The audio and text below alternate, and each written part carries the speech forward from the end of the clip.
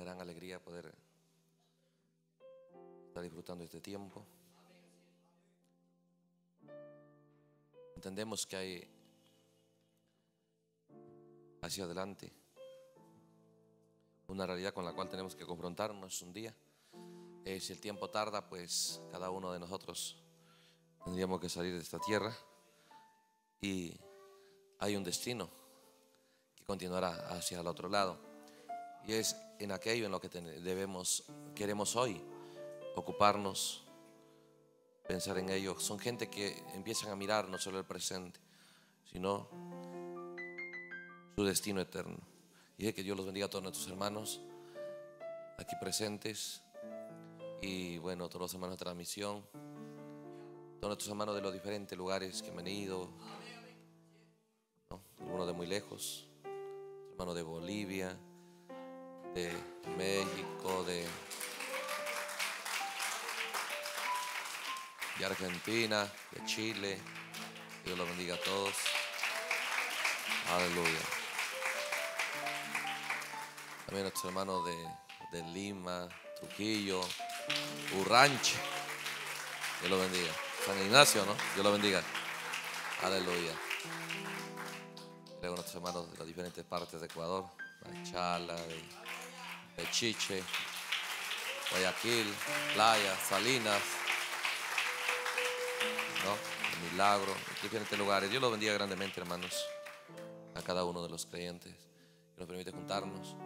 Bueno, no solamente eh, nos juntamos y no queremos nunca perder la expectativa, no perder el entendimiento de este esfuerzo y poder sacar provecho a ello. Y bueno, adoramos, compartimos, disfrutamos gran tiempo. Y en este momento queremos también eh, aprovechar esta parte de estas reuniones, que es pues mirar en la palabra de Dios estas realidades que son nuestra necesidad. Y es que vamos a... Eh, seguir viendo este tema. Estamos viendo no este, esta gran orden, este gran decreto del ángel. A Juan, tome el librito y cómelo. Pero estamos viendo ¿no? como un subtítulo eh, la evidencia de ser lleno del Espíritu Santo. Porque eso queremos nosotros examinar de una manera personal, esa realidad. Aleluya.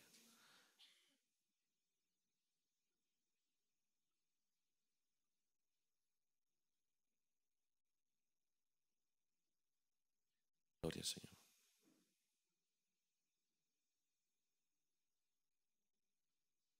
Vamos a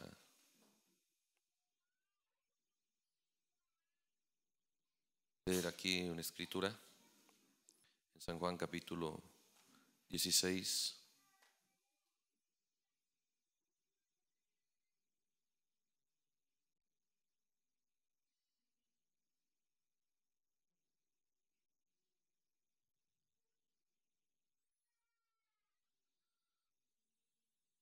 Juan capítulo 16.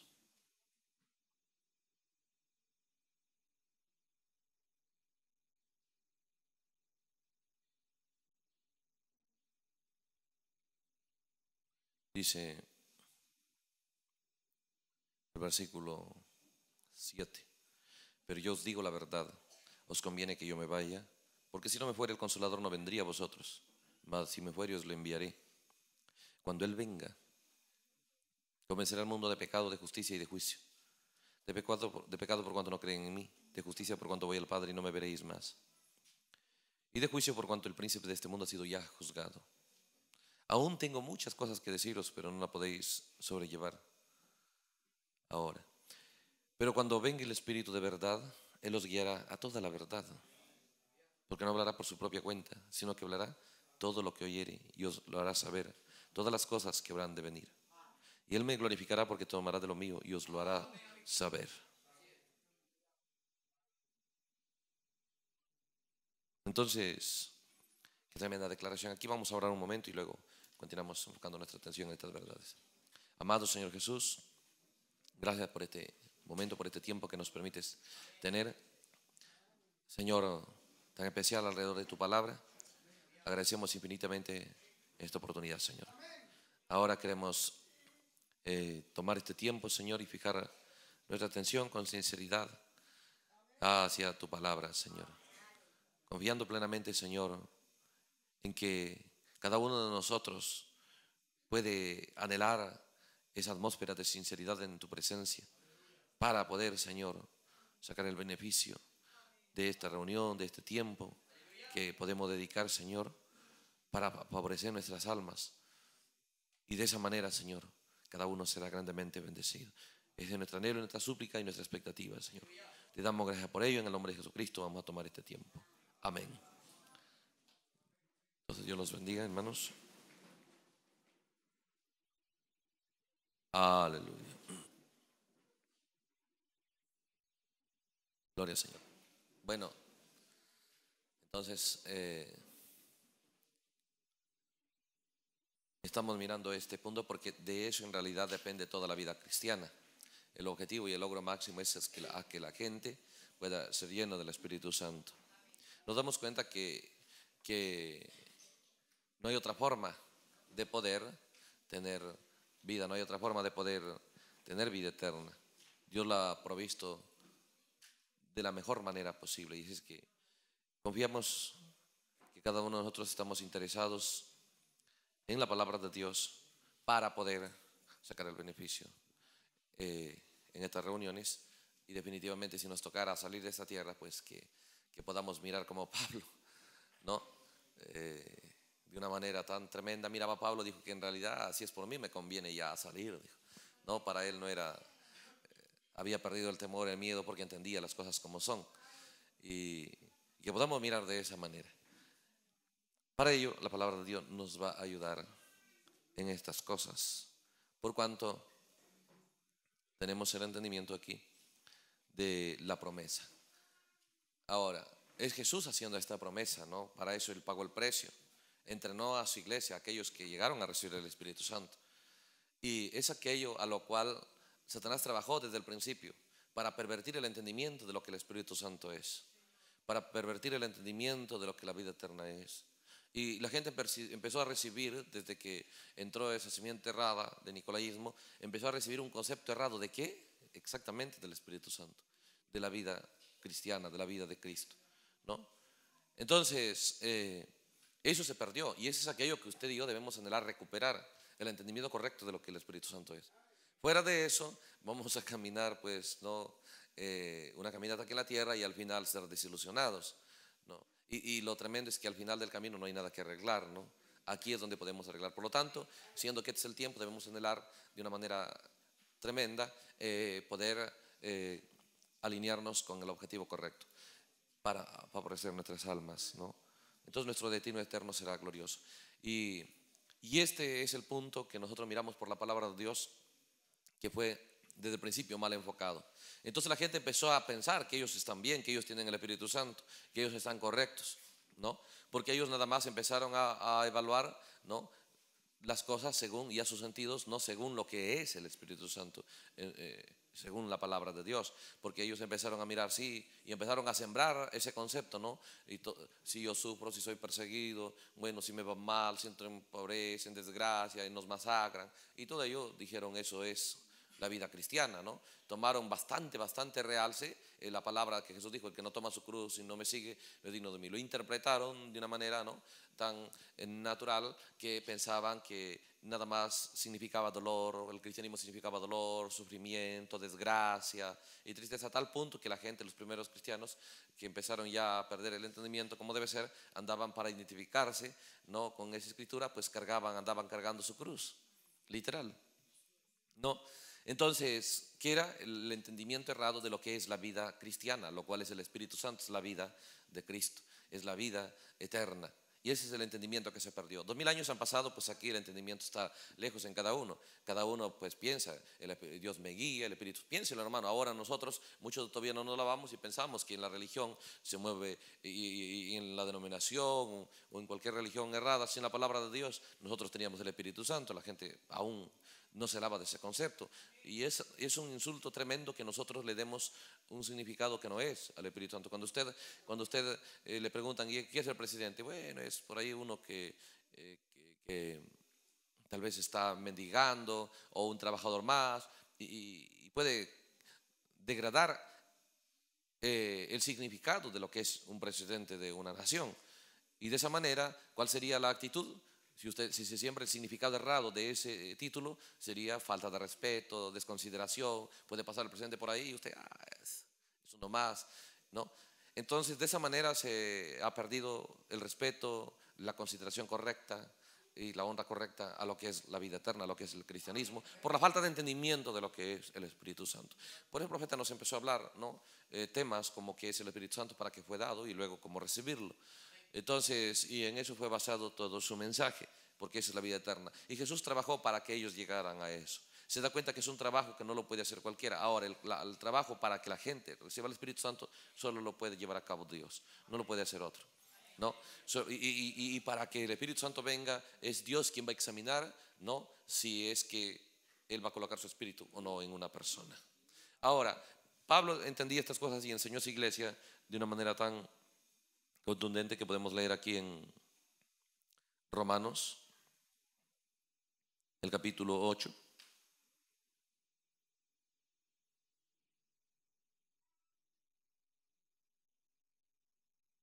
Él empieza a separar las cosas, empieza a enseñarle a la iglesia que son dos formas de vida, según el mundo y los deseos de la carne, y el otro es según el Espíritu Santo.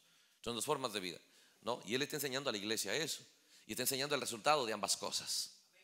¿no? Y nosotros vamos encontrando con mucha gente que sí quiere agradar a Dios, pero no pueden. ¿no? Entonces muchos le echan la culpa al diablo, otros ya pues más sinvergüenza le echan la culpa al hermano, a la iglesia, a cualquier cosa, ¿no? es falta de vergüenza, ¿no? Nada más. Es falta de vergüenza. Porque deberíamos ser más sinceros y, saber que nosotros en algo le estamos pegando mal al blanco, en algo estamos fallando. Entonces, cuando nosotros venimos a esta realidad tan gloriosa, tan sublime, debemos venir con mucha sinceridad. Con mucha sinceridad. Y yo le gusta un corazón sincero, definitivamente. Como dijo David, yo pudiera dar pues grandes ofrendas, grandes sacrificios, ¿no? si eso fuera lo que eh, a ti te agradaría pero sé que eso no basta, pero un corazón contrito y humillado tú no despreciarás. ¿No es cierto? Entonces David entendía esas cosas. Y Pablo enseñó estas cosas a su iglesia. Decía aquí el versículo 5, Romanos 8, 5. Porque los que andan, los que, los que son de la carne, lo que son de la carne es el mundo de su pensamiento. Recuerde, de todas, de todas las cosas que estamos hablando, usted se fijará que estamos haciendo mucho énfasis en el mundo del pensamiento. ¿Sí? Usted va a fijarse eso, porque entendemos por la palabra de Dios, por el mensaje, por la naturaleza, por todos los tipos, que ahí es donde debe librarse la batalla y es aquello que usted tiene que tomar la decisión de cambiar la condición de su pensamiento. Mientras eso no cambie, puede tener grandes deseos que nunca lo llevará a cabo, puede tener grandes propósitos y nunca lo llevará a cabo puede tender a ser tan sincero y tan dadivoso y, querer hacer tantas cosas y nunca lo llevará a cabo. Porque las cosas que usted va a llevar a cabo depende de lo que esté en su pensamiento, lo que es su pensamiento.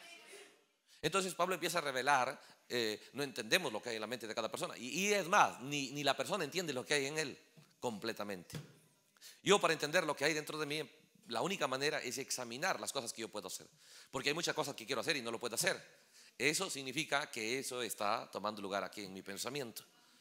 ¿no? Porque hay muchas cosas que uno sabe, lo quiere hacer y no lo puede hacer. Entonces Pablo empieza a revelar aquí estas cosas y dice, porque los que son de la carne piensan en las cosas de la carne. Cuando yo estoy viviendo nada más en el mundo de la carne, mi pensamiento solo está centrado en las cosas naturales. Por lo tanto, mi lenguaje solo será de esas cosas naturales. ¿No? Mi confianza está en la carne, mi pensamiento está centrado ahí. Y lo que es el hombre, su pensamiento, entonces sus hechos hablan de eso. Porque los que piensan, eh, los que piensan, los que son de la carne piensan de las cosas de la carne. Pero los que son del espíritu, ¿no? Dice, ¿en qué piensan? En las cosas del espíritu. Ahora, la palabra que leí, Jesús dijo, les enseñará las cosas que han de venir. Y cosas en la Biblia es el, habla del misterio de Dios. ¿no? Los que son del Espíritu están pensando en el misterio de Dios, están, empezando, están pensando en el plan de Dios, en la voluntad de Dios, en el objetivo de Dios, en los deseos de Dios. Entonces depende, ve cómo nosotros nos damos cuenta si hemos pasado del mundo de la carne al mundo del Espíritu Santo por la forma en la que nuestros pensamientos están siendo dirigidos. Entonces Pablo enseñó eso a su iglesia, porque dice el verso 6, porque el ocuparse de la carne simplemente es muerte, pero el ocuparse del Espíritu, ¿qué es? vida y paz. ¿Y dónde es que nos vamos a ocupar? En el mundo del pensamiento. Los hechos que hacemos en lo natural, simplemente eso ya es consecuencia de lo que ha tomado lugar en el mundo de su pensamiento. Porque las cosas en el mundo de la creación, en el mundo de las cosas como están establecidas, primero son las cosas invisibles. Toda cosa que va a tomar lugar y va a hacerse visible, tiene que haber tenido su origen en el mundo invisible. Esa es una ley. Es una ley. Si usted desea esas cosas, podemos leer en, Hebreos, el capítulo 11. Podemos leer en Hebreos capítulo 11 y luego regresamos aquí a, a Romanos 8. Dice, es pues la fe, la certeza de lo que se espera, la convicción de lo que no se ve, porque por ella, por esa fe, alcanzaron buen testimonio los antiguos. ¿Se da cuenta? Cuando alguien está operando en el Espíritu Santo, está operando en fe, fe, certeza, fe, convicción de lo que, ¿qué? ¿De lo que qué? De lo que no se ve. De lo que no se ve. Entonces dice, pero por esa fe, por esa visión de mirar lo que no se ve y traerlo a escena, los antiguos alcanzaron qué? Buen testimonio. En otras palabras, fueron dignos de confianza, fueron admirados, fueron respetados, ¿no? Se les, pudo respetar, se les pudo honrar. Uno podía decir, puedo confiar en este hermano, puedo confiar en esta hermana, porque por su calidad de testimonio. ¿Y cómo alcanzaron su testimonio? Para operar en el mundo de la fe. Pero para operar en ese mundo de la fe, nosotros queremos tomar la fe, pero para operar con el mundo visible, no. Tenemos que mirar el mundo invisible. En otras palabras, tenemos que mirar aquello que todavía no esté en nosotros, pero tenemos que mirar aquello que debe tomar lugar en nosotros. No es visible, pero lo vemos, lo creemos y empezamos a trabajar para traerlo a nuestra realidad. Y esas, y esas cosas que está mirando en el mundo invisible, lo trajeron a su vida y eso hicieron de esas personas una gente con un gran testimonio. Un testimonio tan tremendo, dice Pablo más adelante, que el mundo no era digno de tenerlos. Ellos lo alcanzaron. ¿Cuánto anhelo tenemos nosotros de alcanzar? Un testimonio en el pueblo de Dios. ¿Sí? Nosotros no corremos por eso, no estamos corriendo por fe. Cuando nosotros queremos movernos de esa manera de ser gente dignos de confianza. ¿no? ¿Ve? Entonces, eh, dice aquí, ahora sí, el verso 3. Por la fe entendemos, solo por la fe, haber sido constituido el universo por la palabra de Dios. El universo había, sido. Por eso, hermanos, hermanos, sin, sin, cuando nosotros entramos en el Espíritu Santo, cuando nosotros entramos en el mundo de la fe, lo cual es revelación, nosotros todavía no sabemos lo que la palabra de Dios es. Pero cuando entramos en ese mundo de la fe entendemos, dice, que el real protagonista, el real creador es la palabra de Dios. El universo, todo eso ha sido constituido por la palabra de Dios. Entonces nuestro concepto de la palabra de Dios empieza a ser el correcto. Entonces dice, de modo, aquí está el punto que les dije, de modo que lo que se ve fue hecho de lo que no se veía. Primero, antes que el mundo que se ve venga a escena, tuvo que venir, tuvo que tener su origen en el mundo invisible. Entonces pudo venir al mundo visible. Así es. Entonces, ¿cómo podemos mirar aquí cuando se trata de la, realidad de la vida cristiana? Las cosas en las que nosotros tenemos que trabajar. ¿Por qué? Ahora, permítame eh, llamar su atención a este detalle. Porque en cada edad, usted se da cuenta que después de, que las edades fallaron, entonces en cada edad Dios envió un mensajero y ellos empezaron a tomar, a vivir bajo ese avivamiento, bajo esa unción, ¿no? Y era la palabra de Dios en parte y, con eso nada más lo alcanzaron, ¿no? Pero la iglesia, la que logró, su logro más grande, era aquella que tuvo la palabra de Dios en su plenitud en carne. Fueron instruidos directamente por el maestro, ¿no? Por eso que esta edad Dios lo llama ser más gloriosa. Porque aquí no nos envía, ve usted, una persona, no nos envía un hombre, nos envía directo la palabra de Dios. Y ellos tomaron la palabra de Dios, lo cual era Jesús, y empezaron a sacar los recursos de Jesús. Empezaron a sacar los recursos de lo que será, de lo que es, de por qué es esto, cómo son las cosas, cómo es el reino, cómo es la señal de tu venida, cómo será el fin del mundo. ¿De dónde empezaron a sacarlo? De la palabra de Dios que estaba con ellos. Y esa palabra los estaba lavando, los estaba limpiando. Por eso que esta edad más gloriosa, ¿por qué? Porque nada más su único recurso al que le queda apelar es fe, porque no es por vista que puede mirar a un hombre, una persona, en lo cual apoyarse, en lo cual tener máxima confianza y lo cual seguir, ¿no? Sino que Dios nos muestra que nos envió para nosotros el librito abierto. Punto. Ahora sí, tome el librito y tendrás el mismo resultado. A la primera iglesia, una vez que la palabra terminó su obra, le dijo, es necesario, ahora sí, que sean mis testigos en Jerusalén, en Samaria y hasta lo último de la tierra. ¿No? Pero ¿quién lo preparó a ellos? El mismo maestro, eh, la palabra encarnada. Pero en este, en este tiempo dice, toma, come el librito y luego sí, después que el librito termina su trabajo, es necesario que profetices en pueblos, tribus, lenguas y naciones.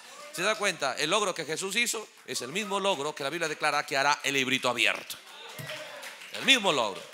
Por eso Jesús, en realidad, ese es el librito abierto. ¿No? Dice, toma y cómelo. Pero entonces, ¿qué, qué, dijo a Jesús allá? También dijo, el que me come. ¿Se da cuenta? ¿Ve? Entonces, igual aquí, toma, come el librito. Se trata de comer. ¿Sí? Entonces, por eso que es glorioso. Nosotros, ve usted, no vamos a encontrar a alguien, tal vez allá Jesús venía, discutía, se ponían altivos, soberbios, y Jesús venía y le decía, así no es. Ustedes no tienen que estar en, vosotros, no debe ser, eh, el grande no va a ser el que va a enseñorearse de los demás, el grande va a ser siervo y traía un niño, les ponía como ejemplo. Pero en este caso es usted, nada más, examinando, tomando la palabra de Dios, ¿no? No, no la palabra de Dios se va a levantar y va a decir, hoy estás actuando mal. No, usted mismo se va a tomar la palabra y se va a decir, a ver cómo estoy actuando. Usted mismo examinándose.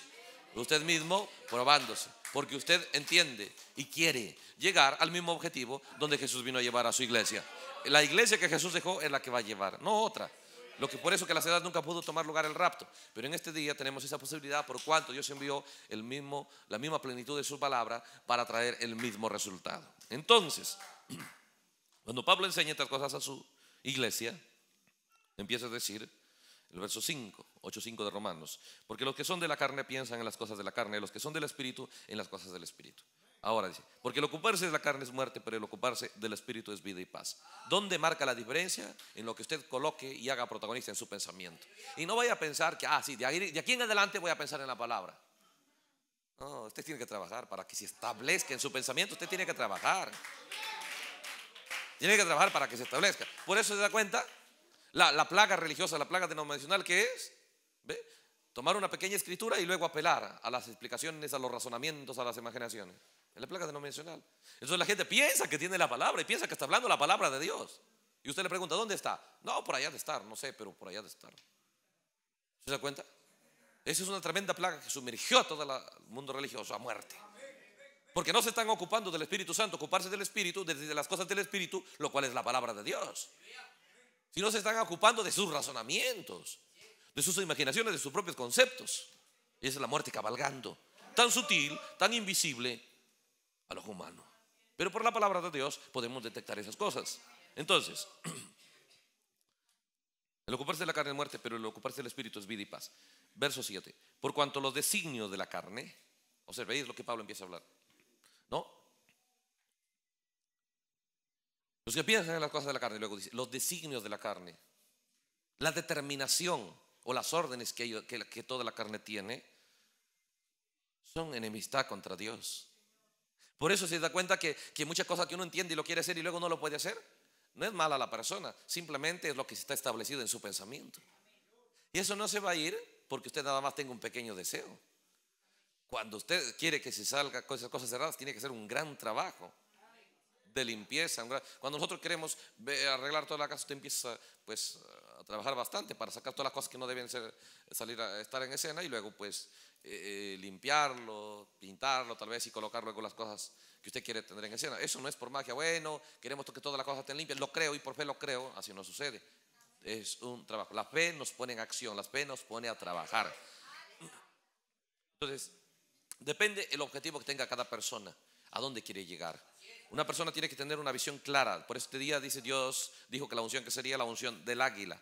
Una unción que puede mirar el juicio venidero, pero puede mirar también redención en escena. Porque redención y juicio van eh, paralelos. Entonces, eh, los designios de la carne no son enemistad contra Dios. Escuche esto, porque no se sujetan a la ley de Dios ni tampoco pueden. Es aquí donde debemos nosotros entender. Y si, no, pues usted examine. Muchas personas, usted habla, habla con ellos y le dice, hermano, ese está mal. Sí, yo sé que está mal. Sí, sí, ya no lo voy a hacer. Voy a cambiar, voy a cambiar. Bueno, hoy ya no escuchamos tanto eso, bueno, porque no queremos escuchar esas cosas, ¿no? ¿Ve? Pero usted examínese. ¿Cuántas veces voy a cambiar? No, no puede ser. ¿Hasta cuándo va a estar así? ¿no? Tengo que hacer las cosas correctas, pero no puede. Entonces automáticamente viene el diablo y dice, es que no eres predestinado. Y luego vienen, pues, ¿no? Eh, esas sectas del mensaje, ¿no? Del, de que el profeta va a regresar y que ahí vas a cambiar. Allá. Entonces la gente se come esos cuentos diabólicos de esas sectas porque cuadran con su condición de, en la que están viviendo en el mundo de su carne. Como no puedo, entonces no puedo, no puedo operar en fe, tomo la segunda opción, operar en esperanza. Y una esperanza ni siquiera basada en la palabra de Dios. Porque esa idea de que algún día cambiará no es, el plan de Dios. Se da cuenta que siempre en la Biblia nosotros mostramos que todo consejo que le diga, tranquilo, no actúes ahora, espérate un poquito, ¿no? Más adelante, siempre es para su derrota. Siempre es para su derrota. Entonces, dice, los vecinos de la carne son enemistas contra Dios. Entonces muchas personas dicen, sí, yo lo entiendo, sé, pero no lo puede hacer. Usted se da cuenta que la persona sigue siendo la misma persona, siguen las mismas acciones. ¿Por qué? Porque, porque es una, una, persona que ha decidido sin darse cuenta muchos y, porque es bueno en, esa, en, esa, en, ese, en ese caso que lo hayan hecho involuntariamente, porque si uno lo hacía voluntariamente no hay opción. ¿Se da cuenta? Entonces, entonces muchas personas sí van a cambiar esto, pero no lo pueden. Usted sigue viendo la misma persona. Pero cuando nosotros vamos a tomar la decisión de salir del mundo de la carne al mundo del Espíritu Santo, desde en adelante, usted va a empezar a ver cada día una nueva persona a cada hermano. Cada, hermano lo va a ver usted diferente. ¿Sí?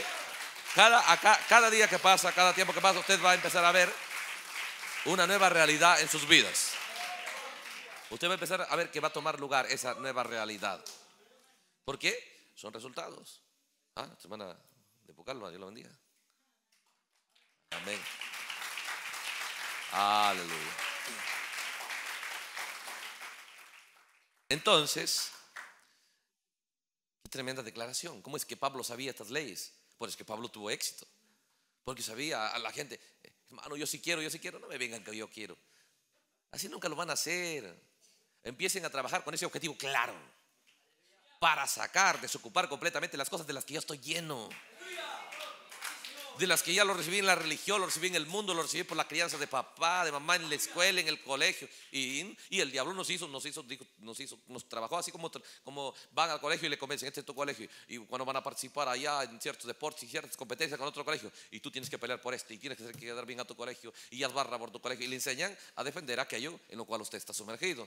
¿No? Le enseñan a decir esto es grande, tu colegio es el mejor. Y luego cuando va a la universidad le enseñan eso, cuando luego le enseñan que su país es el mejor, ¿no? Que su ciudad es la mejor. Y le empiezan a hacerse, a hacerse sentir orgulloso, ¿no? A hacerse sentir poderoso de aquellas cosas que usted está siendo instruido. Y cuando pues crece y empieza a vivir, usted no simplemente se mueve pensando y, sintiendo, nada más bajo la misma atmósfera y sintiéndose contento y orgulloso de lo que usted es. Entonces nosotros nos encontramos muchas veces en conversaciones cuando hermanos empiezan a hablar cada uno saca a relucir lo que la persona es. Mira, yo soy esto. A mí me gustan estas cosas. A mí así. Y yo así. ¿No? Usted se da cuenta. Entonces, esas personas están muy contentas con lo que son. ¿No? Y es bueno que estén contentos con lo que son, pero en la vida cristiana es triste por cuanto no van a cambiar porque están bien contentos con lo que son. ¿Ve? Porque no entiende que hay una mejor realidad para ellos. Pero es diferente cuando alguien se eh, examinara, mira, hay tantas cosas, que va tomando lugar en mi vida. Ya. Estas cosas eran, me parecía bien, pero luego me di cuenta que esto no aprovecha, no me, no me ayuda para cumplir el propósito de ser sellado en el cuerpo de Cristo.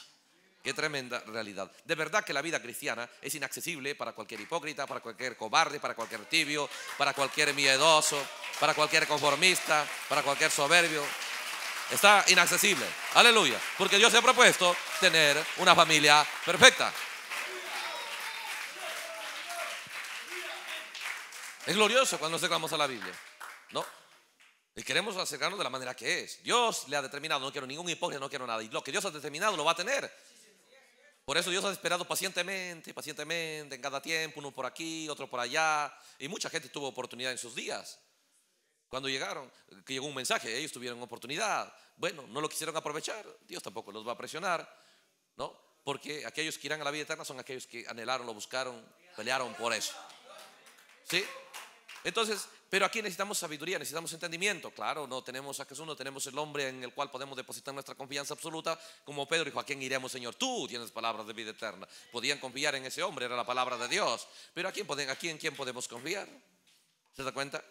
Usted dice, mano, en un predicador. Pues yo no sé qué predicador, porque yo ni de mí mismo tengo confianza. Porque ya he descubierto muchas cosas que me propongo, luego el otro día el ánimo ya no está igual. ¿No? Entonces yo, uno empieza a preguntarse, ¿por qué? Empieza a estudiar por qué las cosas son así. ¿Por qué funcionamos de esa manera? Tiene que haber una razón y la Biblia tiene la respuesta para ello. ¿No? Entonces, porque las cosas que nosotros somos son aquellas que van dándonos confianza y credibilidad en el pueblo de Dios. Mucha gente acepta la situación como aceptan allá eh, en el mundo de la política. Ya, presidente, bueno, lo aceptamos, ya discipulano es presidente del país de donde vivo, pero usted no, no, es que está satisfecho con eso, sino que nada más lo acepta. Entonces muchas veces el predicador, y soy gran predicador, soy esto, y además tengo una iglesia y la gente tiene que escuchar mi predicación y va. Claro, lo aceptan, pero es diferente que disfruten poder estar en esas reuniones. Y para ello tiene que la persona saber, eh, investigar y trabajar arduamente para ir lavándose de las cosas que les impedirían a ellos disfrutar aquello de lo cual él, él es llamado a proyectar hacia ellos, Jesucristo. ¿Sí? Entonces, de esa manera nada más podríamos nosotros estar en un sistema político donde las cosas se aceptan, pero no es que uno las disfruta. ¿no? La gente no se siente feliz y agradados de, las cosas que toman lugar, ya sea en la política, en su, eh, eh, en su iglesia, en su religión, sino que simplemente la aceptan porque mayoría manda y tanta cosa. ¿no? Pero en la vida cristiana es diferente. Debemos ser libres, debemos ser sinceros, muy sinceros. ¿no? Si, si, algo no satisface mi alma, yo no tengo por qué estar obligado con ello. No tengo por qué estar comprometido con ello. Debemos anhelar que cada persona pueda moverse buscando una satisfacción personal, individual, porque de esa manera Dios va a encontrarlos. Cuando son sinceros de esa manera, aunque pudieran estar errados, Dios va a encontrarlos, porque a Dios le gusta mucho la sinceridad. Entonces, ve, dice que Qué tremendo. Los designios de la carne son enemistas contra Dios. Entonces, es ahí donde nosotros encontramos estas cosas que se han establecido por años. Piense, desde que uno empezó ya a entender, empezó a mirar a mamá desde pequeño, y desde ahí empezó a oír las primeras palabras, todo lo que oyó en su hogar, eso se quedó en su mente. ¿Acaso no dice el profeta lo que usted escucha hasta 7 u 8 años, eso, eso es el 80% de su vida? Eso no solo lo dice él, todo lo científico, la ciencia lo estudió y la ciencia dice eso. El profeta dijo siete años, la ciencia dice hasta los ocho años. ¿No? Por ahí están. ¿Se da cuenta? ¿Ve? Pero, ¿qué es? Dice, ese es el 80% del resto de su vida. Por lo tanto, nosotros tenemos muchas cosas que heredamos de nuestro hogar. ¿No? ¿Ve? Y claro, mamá papá no eran malas personas, solo que no sabían el misterio de Dios para poder enfocarnos en lo correcto. ¿Sí? O muchos estaban en el mensaje, pero no entendían cómo ser libres ellos mismos, cómo que iban a proyectar. Entonces nacimos sobre esas cosas, nacimos en ese mundo, ¿no? Y de esa manera nosotros tenemos que entender cuántos años han pasado hasta este día, hasta estos días que estamos nosotros confrontándonos con estas verdades. Hay tantas cosas ya establecidas que se han establecido por años. Es diferente una plantita que nada más se estableció ayer, ayer empezó a abrir sus hojitas. Cualquier viento, cualquier, cualquier movimiento lo va a destrozar. Pero un tronco que ya tiene sus 40, 50 años y sus buenas raíces, no, no, no cualquier cuchillo lo va a cortar. ¿Sí? No cualquier navaja, sobre todo si es madera dura, ¿no? Entonces, es ahí donde va a pasar los dos procesos. La primera parte viene el profeta a arruinar, a destruir, a arrancar, a derribar, ¿no? Y la segunda parte viene Dios a plantar y a edificar. Son las dos fases. Entonces, nosotros estamos bajo ese mundo. Pero ¿dónde se edificó eso? En la esfera de nuestro pensamiento. Se estableció esas cosas por repetición. Lo repetía mamá, lo repetía papá, lo repetía en la escuela. Y eso formó en nosotros una manera de ser. La manera de ser que nosotros pensamos que es original no es original. Ah, es una mezcla de tantos que hemos recibido. Y todo y esa mezcla, de un poquito de acá, otro poco de acá. Y eso, eso hemos llegado a hacer porque eso llegó a nuestro pensamiento. Y lo que somos en el pensamiento, eso es aquello que la persona actúa. Entonces, cuando usted entiende por la palabra de Dios, cuando usted sabe lo que es la verdad y sabe lo que debe hacer, para que eso sea acciones, para que usted entre al Espíritu Santo, lo cual traerá a escena la fe perfecta, lo cual traerá a escena acciones por la cual los antiguos alcanzaron buen testimonio. Entonces es el mismo plan, la misma regla para cada creyente, para usted, ¿no? Entonces, que si está abierto el acceso, está abierto el camino para que usted sea una persona con un testimonio que nunca se ha visto. Porque es el plan de Dios, traer escena una vida cristiana que nunca se haya visto. Ahora, ¿cuán dispuesto está ello? O, o tiene el complejo religioso que cuidado, vayas a avanzar o le quieres quitar el puesto al pastor. ¿No? Eh, tiene ese complejo y vive bajo esa regla, siempre vive, no, yo nada más atrasito de la puerta y no, yo siempre soy humildecito, no es humilde, porque es, arrogancia, es soberbia de quedarse sin resultados para Dios, porque Él es digno, Él es digno de grandes resultados en nuestra vida, de que nuestra vida hable de la gloria y el poder de su palabra. Aleluya. Entonces dice aquí el verso 8, y eso es lo que usted tiene que mirar. ¿No? ¿Cuánto usted desea agradar a Dios? Definitivamente, ¿no? ¿Quién no? Yo quiero pensar y, hasta donde sé, todos los que estamos aquí, ¿ve? y tal vez los que están en la transmisión, definitivamente tienen un deseo general de que quieren agradar a Dios. Pero el punto es este, dice, y los que viven según la carne no pueden agradar a Dios. Entonces, ¿qué está pasando? ¿Qué nos hace ver usted actuar de una cierta manera? ¿No? ¿Qué nos hace que no podamos agradar a Dios? Es que estamos viviendo en el mundo de la carne. ¿Y cómo es vivir en el mundo de la carne? Que nuestros pensamientos no son, no, nos hemos, cuidado que nuestros pensamientos sean 100% escriturales. Entonces nada más tomamos el mismo patrón y el mismo estilo denominacional que en realidad vino del infierno. Para presentar un poco de la palabra y luego mezclarlo con nuestras ideas, con nuestra manera de ser. Entonces usted va a darse cuenta de las personas, las personas que viven en ese mundo, ellos vienen y dicen, hermano, esto es así, así. No sé, yo así lo veo, o no será, dice usted se da cuenta que, no están seguros, porque, porque ve usted, la carne no trae seguridad, no trae convicción, pero el que está basado en la palabra de Dios, esto es así. ¿Por qué? Aquí está escrito. Él viene con seguridad, no con duda, no con temor. Entonces usted debe entender que para, para alabarse, para alabarse de eso, para tener una persona que vive en el mundo de seguridad, de certeza, ¿no? Nada de incertidumbre es un trabajo. Es un trabajo que usted, la tiene, usted tiene que trabajar arduamente para que usted entre en acciones por la cual alcance un buen y gran testimonio. Que usted la alcance. Recuerde esas cosas. Ahora, ¿cuánto va a correr por eso? De eso depende el Espíritu Santo en usted. Y de eso depende la vida eterna. De eso depende su destino eterno. ¿Ve? Dios desde Génesis nos muestra cómo debemos hacer las cosas. El profeta dijo, ve, si el padre es pato, los hijos son patos. Los gustos del padre son los mismos gustos de la persona, las mismas acciones. Entonces, Dios nos muestra, por eso que la Biblia empieza desde Génesis, para la Biblia siendo el plan de Dios para nosotros. Pudo haber empezado desde, que cuando Dios, allá antes de la caída, no. Dios creó los cielos y la tierra y luego dice, la tierra estaba desordenada y vacía, estaba en un caos, estaba en tinieblas, estaba lleno de muerte, sin vida. Y es ahí donde Dios desciende con su palabra y lo transformó en un Edén. Pero eso nada más para mostrarnos, Dios sabía la qué condición, sobre todo para los días de la edad de la Odisea, donde la gente iba a estar en tinieblas completa, porque la Odisea es exactamente Génesis 1, donde todo es tinieblas, donde no hay nada de luz, donde todo es un caos, donde la verdad, donde Jesús ha sido echado fuera de, de su iglesia, ¿no? Pero en esa condición Dios vino. ¿Cómo lo cambió la situación? Trajo su palabra. Él dijo, sea la luz. Y empezó a hablar la palabra de Dios. Y la palabra de Dios transformó ese caos. Entonces Dios, Dios dejó su Biblia, que desde que abrimos la Biblia podemos mirar nuestras acciones que debemos emprender. Traer a escena a nuestro mundo, a nuestro caos, la palabra de Dios, de tal manera que nosotros seamos esa gente. Que allá, porque la misma forma en la que Dios usa para redimir la tierra es la misma que Dios usa para redimir a la persona. Así como ella terminó siendo ese caos en un Edén, ¿ve? nosotros debemos tomar la palabra de Dios para llevar a, cabo el mismo resultado. Que nuestra vida sea un Edén para el resto del pueblo de Dios. ¿Sí? Ahora, de eso depende el Espíritu Santo en una persona. ¿No? Fuera de eso solamente es un engaño religioso. ¿No? Y sigue siendo demonología. Claro, esfera religiosa. ¿No? La gente nada más viviendo en el mundo de la carne. Siempre dice queriendo agradar a Dios y no pueden agradar a Dios.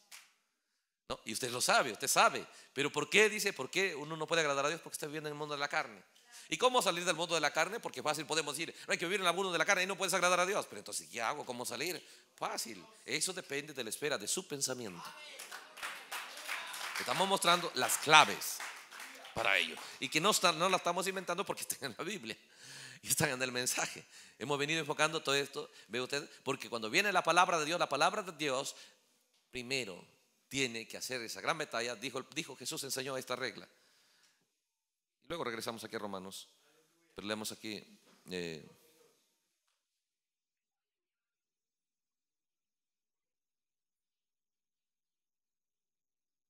en San Marcos capítulo 3.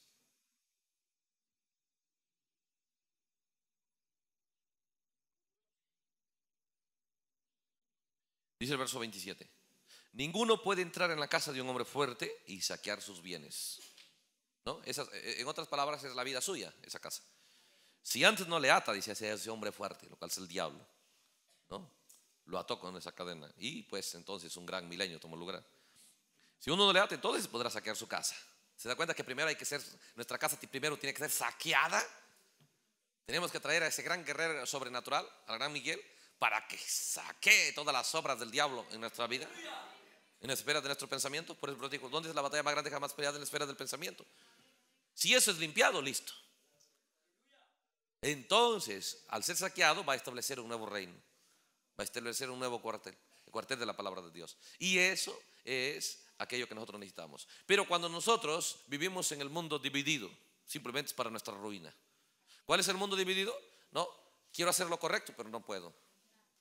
Deseo, decido y no lo puedo. Y, en nuestra vida nosotros encontramos a la gente en la misma condición. Si pasan 20 años, la gente sigue en su misma condición, con su misma naturaleza, sin... Escucha esto. ¿Ve? La desgracia más terrible es gente sin testimonio. Sin un testimonio. Ahora, del pueblo de Dios. Ahora, yo puedo dar un testimonio de mí, pues cada uno da su testimonio. Pero Pablo dijo, no es el que se alaba, es aquel a quien Dios alaba. Y se da cuenta que eso se apagó por completo. Ese hambre y esa sed se apagó por completo. Porque hay una cosa que Dios despierta, es el oír la palabra de Dios. Pero ¿para qué oírla? Porque la palabra de Dios va a darnos entendimiento de las cosas a las cuales tenemos que despertar nuestra hambre, nuestra sed. Y una de las cosas a la cual la gente perdió su hambre y su sed, ellos no corren por un testimonio. La gente perdió su hambre, perdió su sed por ser creyentes con un testimonio. Como Ruth, mujer. Todo mi pueblo sabe que eres mujer virtuosa. Cuando los siete sellos se abrieron, de frente fueron al libro de Ruth. Para mostrar que es el libro de redención. Que era la que iba a ser redimida. Una gentil, una gentil con testimonio. Entonces, es aquello que nosotros debemos correr. Y, y, ve, porque el testimonio que tenemos la hemos ganado nosotros. ¿No? Si tenemos el testimonio de, ser mentirosos, la hemos ganado con nuestras mentiras. ¿Sí? Si tenemos el testimonio de ser rebelde, renegado, nosotros la hemos ganado con nuestros actos. El testimonio se gana con actos. Nosotros le hemos ganado el testimonio que ya tenemos. ¿Ve? Ahora entonces empieza a examinar el testimonio que usted ya tiene. ¿Cuánto da buena representación a Jesucristo. Y cuánto el pueblo está agradado con el testimonio que yo tengo. ¿Ve? Ese es el punto. Ahora en eso tenemos que ser muy sinceros y por eso le digo, esta reunión estamos tratando de predicar ahí en esa esfera tranquila, ¿para qué? Que sus amenes no sean por cumplir nomás. Porque usted un día va a responder por eso. Porque estamos hablando de cosas muy solemnes, muy sagradas y determinantes. ¿Sí? Entonces ve, vea aquí. Cuando nosotros venimos de esa manera y aceptamos y nos resignamos a vivir en un mundo, en un mundo como dice aquí la Biblia.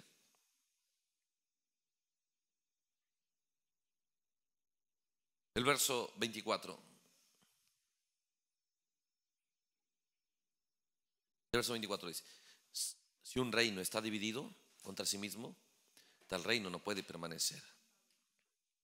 Y si una casa, una persona, está dividida contra sí misma, tal casa no puede permanecer. Si hay algo de lo que debemos cuidar, no estar divididos.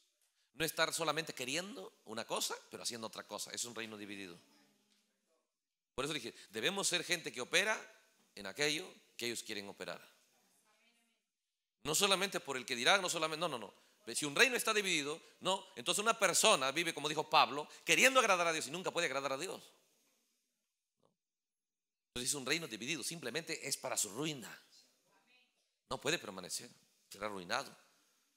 Entonces, cuando, ¿cómo nosotros caminamos hacia la ruina teniendo la posibilidad de ser sellados? ¿Cómo caminamos hacia la ruina? Adaptándonos a un reino dividido. Lo cual es una hibridación, una mezcla. Adaptándonos a un reino dividido. En otras palabras, sabiendo que hay cosas que están mal en nosotros. Pero seguimos hoy con esas, mañana con esas, pasado con esas, la semana siguiente con esas, que ya sabemos. Que sabemos que no están bien. Y sabemos que nuestra vida, nuestra vida es un reino dividido, simplemente empieza a caminar para su ruina. Estamos hablando, ve usted, esa caminata hacia el Espíritu Santo. Lo que es el Espíritu Santo. El Espíritu Santo no es un reino dividido. Cuando el Espíritu Santo viene, oh hermanos, no es nada compasivo. Cualquier cosita errada, simplemente en primera. El profético no se entretenga. No trate de decir, mira y hablar con el enemigo. No, en primera, acabe con él. Ese es un verdadero guerrero, no le va a dar ventaja, no, en primera. ¿eh? En el primer ataque no dijo, a ver, vamos a entrenar, ya van 10 piedras, tal vez en la 11 te, golpeo, dijo David. No, en la primera nada más. ¿Se da cuenta? Eso es alguien con el Espíritu Santo. En otras palabras, seamos personas de esta manera. Que si alguien viene y le dice, bueno, esto está mal, listo, basta, eso es todo. Nunca más me volverán a decir que está mal. No necesito, no necesito que me digan 10 veces. No necesito que me digan 20 veces. Es cuando alguien tiene el Espíritu Santo, dijo, a la primera corren a, hacerlo, corren a, a corregir esas cosas. Esa es una persona con el Espíritu Santo. Es rápido, es veloz en sacar fuera de escena cualquier cosita que no es beneficio para el pueblo de Dios.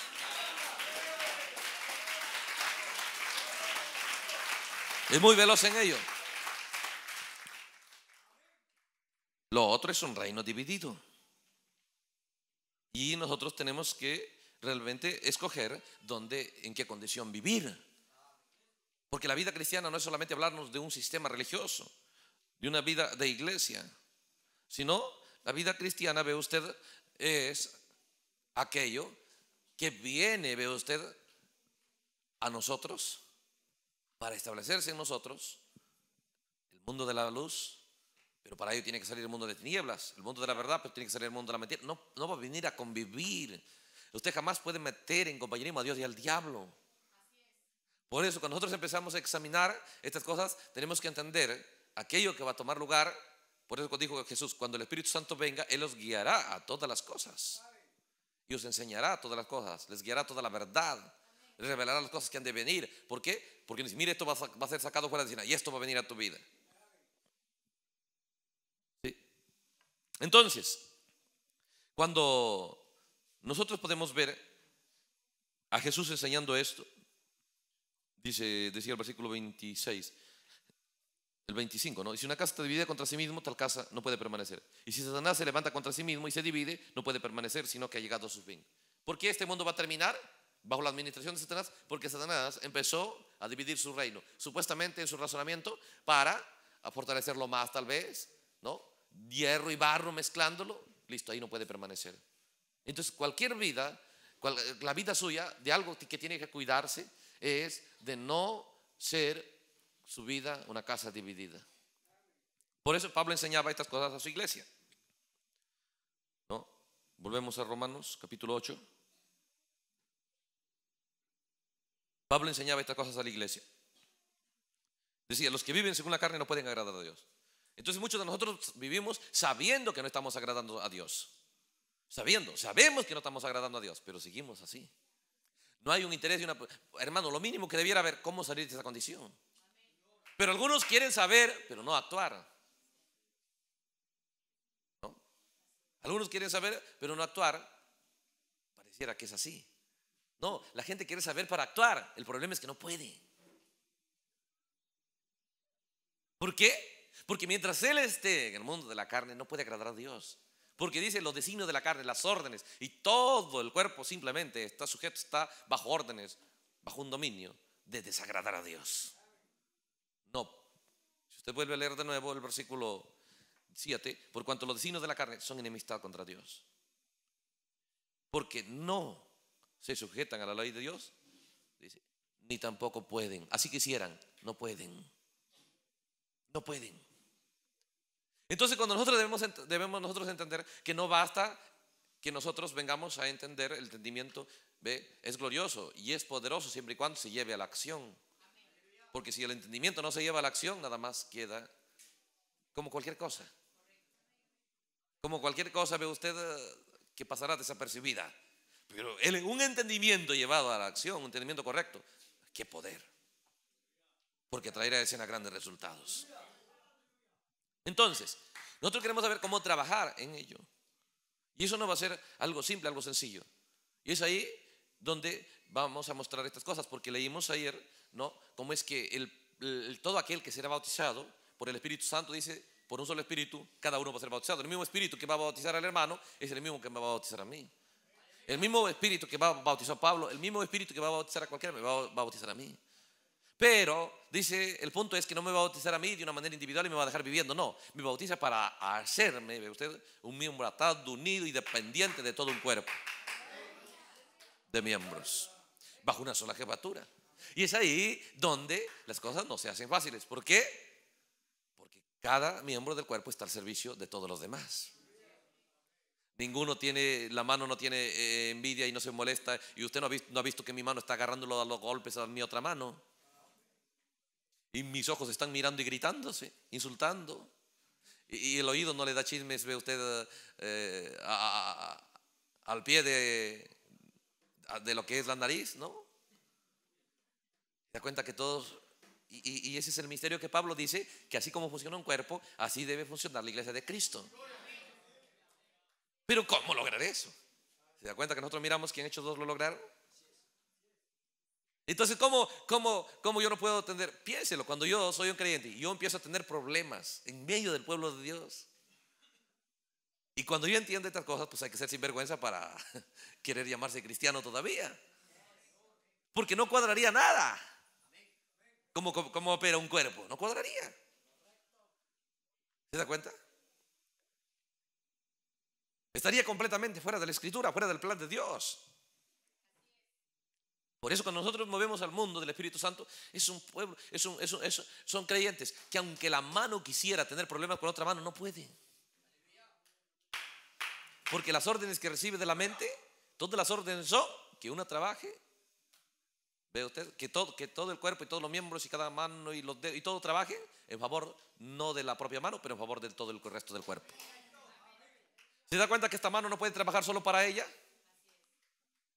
¿Se cuenta que esta mano no puede tomar la camisa y esta mano ponerse sola? ¿Se cuenta que esta mano no puede tomar el reloj y ponerse ella? Le dice a la otra, ponme el reloj. ¿Se da cuenta? Así es la vida cristiana. Pero nosotros venimos en un mundo donde cada uno se mueve de su propia manera. No, y ahí es donde va a ser el real desafío. Por eso digo, la gente piensa, no entiende lo que es el Espíritu Santo, piensan que nos, nos llena y nos hace... Algunos piensan que tienen el Espíritu Santo y todavía se van a adulterar. ¿Qué clase de sinvergüenza, no? ¿Y qué clase de blasfemos?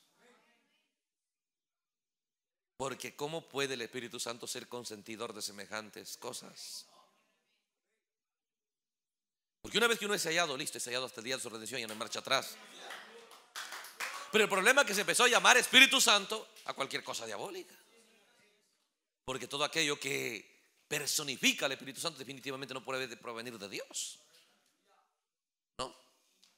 Entonces nosotros queremos esa realidad, pero examinemos minuciosamente qué es, de qué se trata. Y ahí es donde estamos en cada sermón buscando eh, inyectar estas, estas verdades, ¿no? Para que empiecen a resaltar, a resaltar y pueda usted mismo armar el cuadro, porque usted lo necesita. ¿Sí? Entonces, dice aquí, los que viven según la carne no pueden agradar a Dios. Dice el verso 9. Mas vosotros no vivís según la carne, sino según el Espíritu. Escuche esto. Si es que el Espíritu de Dios mora en vosotros. Para vivir según el Espíritu, la única manera de hacerlo es que el Espíritu, el Espíritu de Dios mora en vosotros. Para vivir, para actuar, ¿no? Según el Espíritu Santo es que Él mora en vosotros. Ahora, el Espíritu Santo puede estar con nosotros. Ahora escuche, y el Espíritu Santo con nosotros, Cristo con nosotros, una persona con el Espíritu Santo, ¿sí? Él con el Espíritu Santo, el Espíritu Santo con la persona, puede hacer grandes cosas. que si no conocemos bien la escritura, vamos a pensar que tiene esa persona el Espíritu Santo. Porque Dios está tan dispuesto a operar aquello a lo cual usted nada más anhela moverse. Y es aquí donde nosotros, si no conocemos la palabra de Dios, no conocemos a Dios, no lo podemos identificar por sus características, podemos ser tan terriblemente engañados. Porque es, por eso Pablo empezó a enseñar allá a los romanos que la persona que ya no vive según la carne, sino según el Espíritu de Dios, pero siempre y cuando el Espíritu de Dios more en él. Y luego dice, si no tiene alguno el Espíritu de Cristo, no es de él. Sin el Espíritu no somos de Cristo. Ahora, aquí es el punto donde vamos a leer un poquito aquí en la ida de Pérgamo.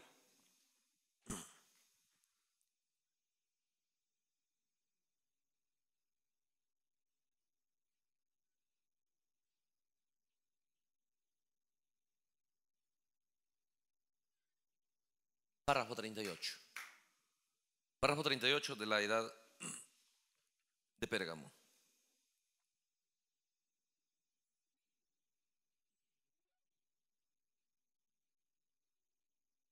Para examinar estas cosas.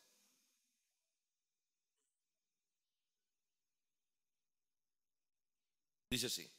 Ahora, llegamos a esta pregunta, pregunta genuina, que sé que usted está ansioso por hacer. Por, escuche esto, dice la pregunta. ¿Por qué no es la manifestación de una evidencia de ser bautizado con el Espíritu Santo? Ya que seguramente nadie podría manifestar al Espíritu Santo sin ser verdaderamente lleno del Espíritu. Entonces la pregunta era, ¿no? Ciertas evidencias que solo el Espíritu Santo lo puede hacer. Una persona que no sea lleno del Espíritu Santo no podría tener ninguna evidencia de, de las obras de que el Espíritu Santo puede hacer como por ejemplo orar por los enfermos, tal vez una profecía, ¿no? Tal vez milagros. Entonces, una persona sin, que no sea llena del Espíritu Santo puede manifestar esas obras que solo el Espíritu Santo lo puede hacer. Es una pregunta que la gente haría. ¿Cómo reconocer? ¿Cómo saber? ¿Podría ser posible que una persona sin el Espíritu Santo pudiera manifestar grandes obras del Espíritu Santo?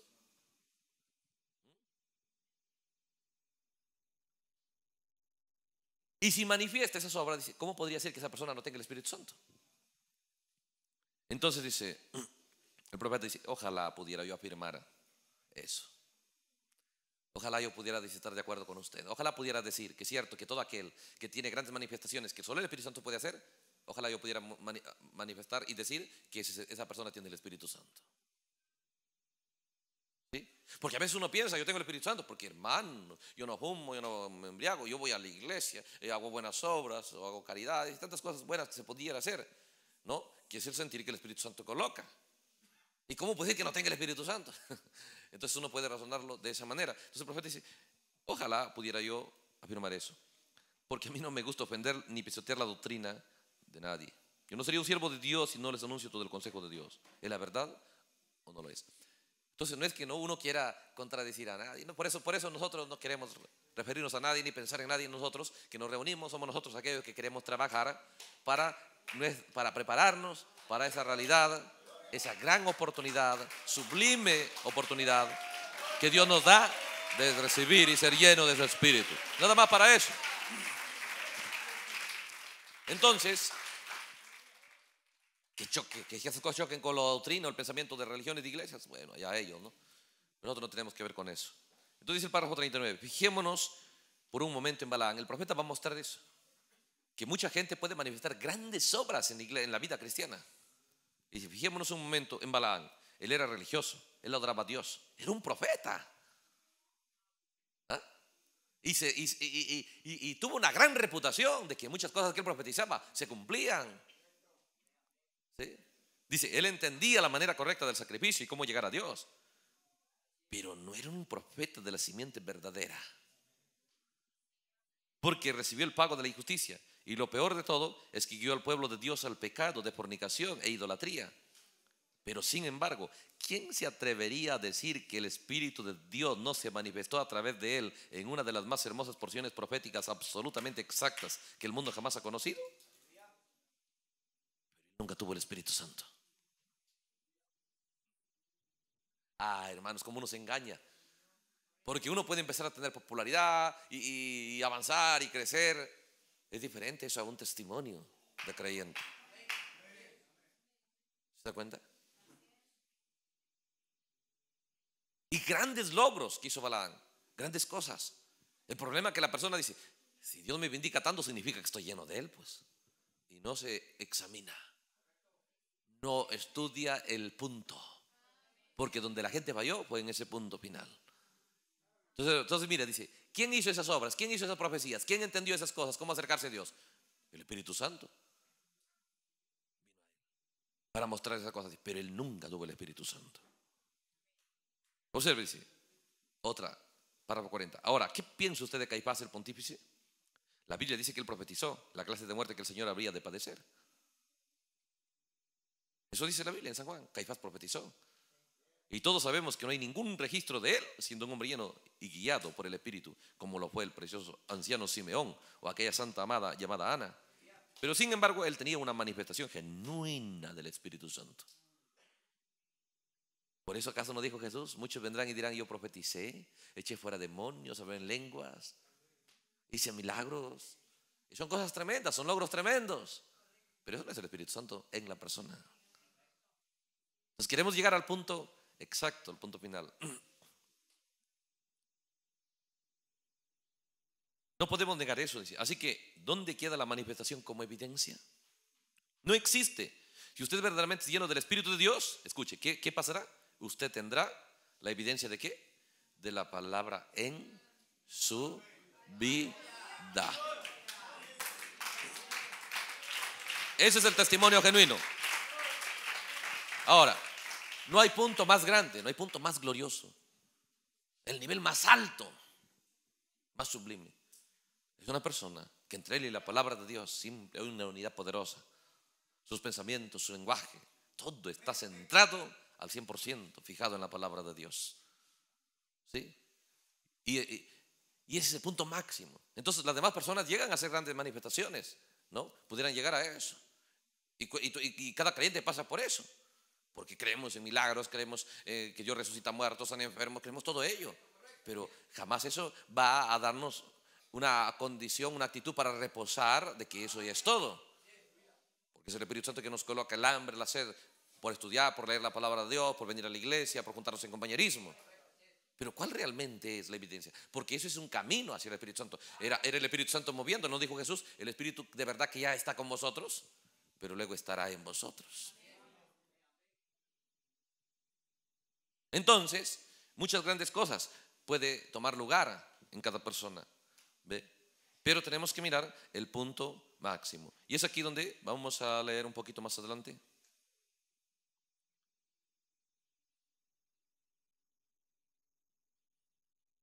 Donde el profeta empieza a hablar que él dice también para probar eso, eso son cosas en la Biblia, pero luego él dice que la empieza a contar desde el párrafo 41 en adelante cómo es que él eh, se encontró con dos hombres que hablaban en lenguas y profetizaban y era tremendo lo que hacían y empezó a andar con ellos, se dio cuenta que uno era un mujeriego y, ¿no? y un adúltero. Y ¿cómo, cómo, cómo, puede tener el Espíritu Santo esa persona? ¿Y qué hizo Dios? Dios le abrió el libro de Hebreos, que la lluvia cae sobre buenos y malos. Es una lluvia general, es una lluvia de enseñanza, de instrucción. Es el Espíritu Santo con pero la realidad que determina la vida eterna es el Espíritu Santo en la persona. Entonces, cuando él lee eso, cita en el párrafo 49, el profeta cita San Mateo 21 al final. Dice, no todo el que me dice Señor, Señor, al final del párrafo 29, de este, perdón, 49. No todo el que me dice Señor, Señor entrará en el reino de los cielos, sino el que hace la voluntad de mi Padre que está en los cielos. Muchos me dirán en aquel día, Señor, Señor, ¿no profetizamos en tu nombre? Y en tu nombre echamos fuera demonios y en tu nombre hicimos muchos milagros. Entonces les declararé, nunca os conocí, apartados de mí, hacedores de maldad. ¿Cuál era la gran maldad? Hacer todo eso y no tener el Espíritu Santo, no haber dado, piénselo, haberse beneficiado de todo ello y no haberle dado un lugar al Espíritu Santo. Estamos viendo por puntos, porque este es un mundo tan grande, tan glorioso. Entonces dice el párrafo 50, Jesús Aquí en San Mateo 21, en San Mateo 7, 21 al 23, dice, Jesús no niega que ellos hicieron esas grandes obras. Que ellos hicieron, ¿ve? las grandes obras que solamente el Espíritu Santo puede obrar por medio del hombre. Milagros, sanidades, profecía. Es el Espíritu Santo obrando. ¿Sí? Y usando a la persona. Pero dice, él sí negó que jamás los hubiera conocido.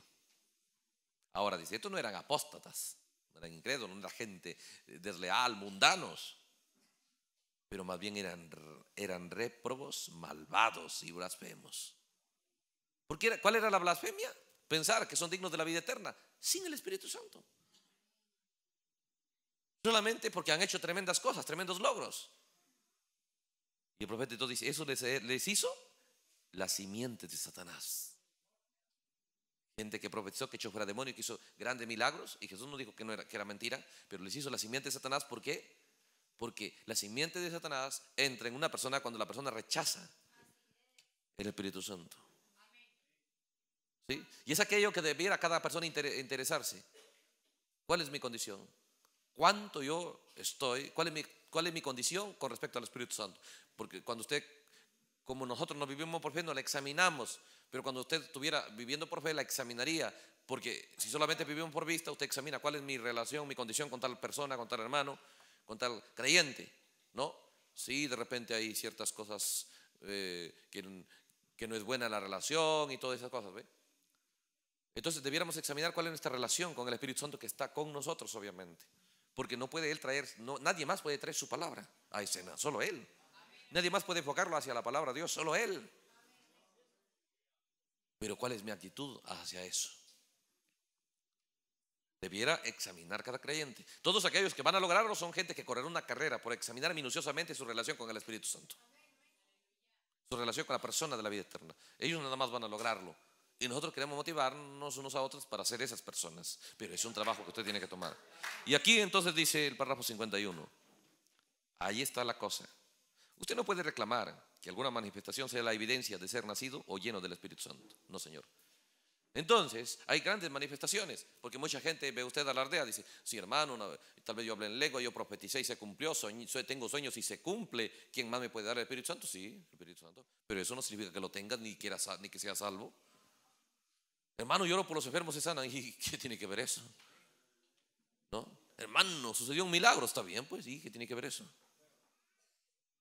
¿Se da cuenta? Entonces, profeta, nosotros como cristianos nunca vamos a poner una manifestación que el Espíritu Santo puede hacer a través de una persona, manifestación de poder de su gloria, como evidencia, sino que queremos la realidad. Entonces dice, usted no puede reclamar que alguna manifestación sea la evidencia de ser nacido o lleno del Espíritu, no, Señor. Yo reconozco, dice el profeta, seguro, claro, reconocemos. Yo reconozco que verdaderas manifestaciones son evidencia del Espíritu Santo obrando grandes cosas. Muchas manifestaciones, dice, es el Espíritu Santo obrando en muchas personas y obrando grandes cosas. Reconozco eso, es el Espíritu Santo obrando. ¿Quién más hace esas cosas? Pues el Espíritu Santo. Pero no es la evidencia de que ese individuo que hace esas grandes cosas haya sido lleno del Espíritu Santo. Aunque ese individuo tenga abundancia de dichas manifestaciones. Qué tremendo, qué glorioso. Me agrada bastante esto, hermanos. por qué? Porque saca fuera de escena toda la humanidad. Sí. Entonces el profeta dice, ese individuo puede tener pues, abundancia de manifestaciones. Eso no significa nada. Por eso el profeta se acuerda en sus días, decía, oh, tal hermano, ve usted, tal hermano tiene el Espíritu Santo, ¿no? Tal hermano eh, está lleno del Espíritu Santo y tal hermano, y grandes manifestaciones. Todos dicen, hermano, ¿cómo puede ser profético que fulano tiene el Espíritu Santo? El punto es, ¿dónde lo tiene? ¿Con él o en él? Porque definitivamente era el Espíritu Santo que, quien lo movía la gente al mover del mensajero. ¿Sí? Hermano, ¿y fulano tiene el Espíritu Santo? Sí, sí, el profeta reconocía eso. Pero el punto es, ¿dónde lo tiene? ¿Con él o en él? Ese es el punto. Entonces, y es ahí donde vamos a ocuparnos, ¿ve? Que dónde es cuando, cuando es el Espíritu Santo con usted solo son manifestaciones. De repente alguien ora y puede orar y puede hacer grandes cosas y hasta, usted puede ser consejero pero no no pueden sus consejos lo ayudarán a otros a veces porque piensan que usted es una gran persona pero ni a usted le pueden ayudar sus propios consejos usted siempre será una persona que siempre está deseando agradar a Dios y no puede. Porque sigue viviendo en el mundo de la carne. Porque el Espíritu Santo con nosotros simplemente es cuando usted lo llama, pero luego se retira. Siempre es así. Por eso la gente dice, ahora me siento bien, me siento animado, luego ahora no siento nada. en, un, en una actitud no constante, ¿ve? Entonces dice, ve, aunque tal individuo tenga abundancia, abundancia de dichas manifestaciones. Entonces dice, la evidencia de haber recibido el Espíritu Santo hoy día es igual como fue en los días de nuestro Señor, exactamente. Que es recibir la palabra de verdad para el día en el que usted vive. Para el día en el que usted vive. ¿Sí? Ahora usted tiene que examinar, ¿y cómo lo va a recibir? ¿No? ¿Cómo va a recibir la palabra de verdad para el día en que usted vive? ¿Cómo lo va a recibir? ¿No? Pregúntese.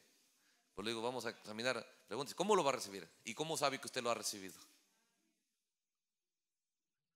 Hermano, hay que recibir la palabra de la hora. Pero ¿cómo sabe usted que lo ha recibido? Pero por la Biblia, no, no por sus pensamientos.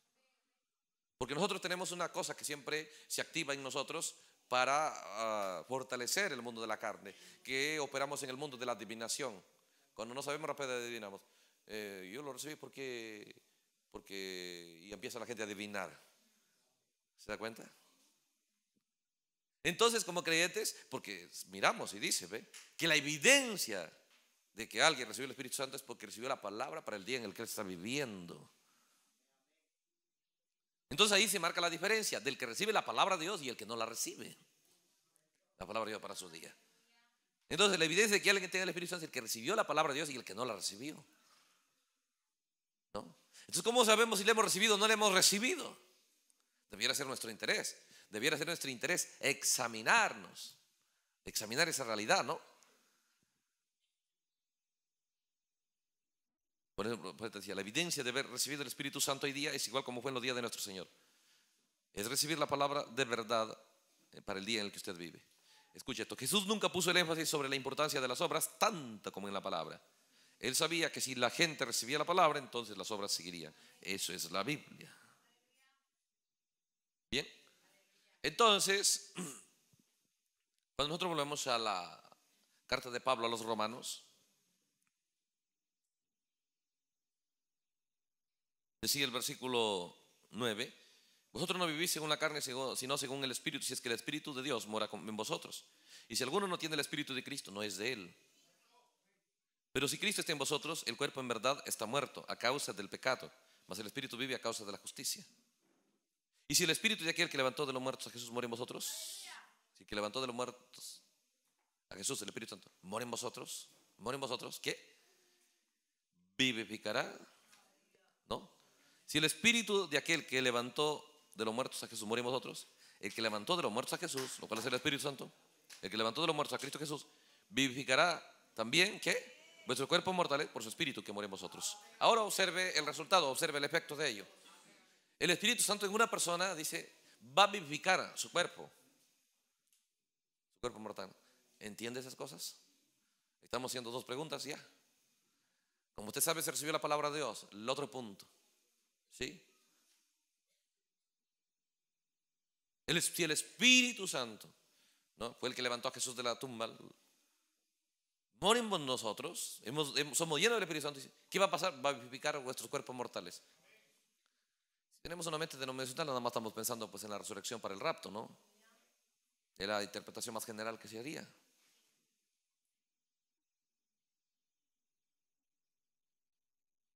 Pero usted se da cuenta que Pablo no está enfocándolo de esa manera.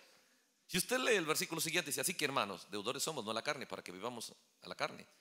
Somos deudores. Entonces, si vivimos conforme a la carne, moriréis, más si por el Espíritu hacéis morir a las obras de la carne, viviréis. Porque todos los que son guiados por el Espíritu de Dios son los hijos de Dios. Entonces Pablo empieza a mostrarnos, dice, somos deudores.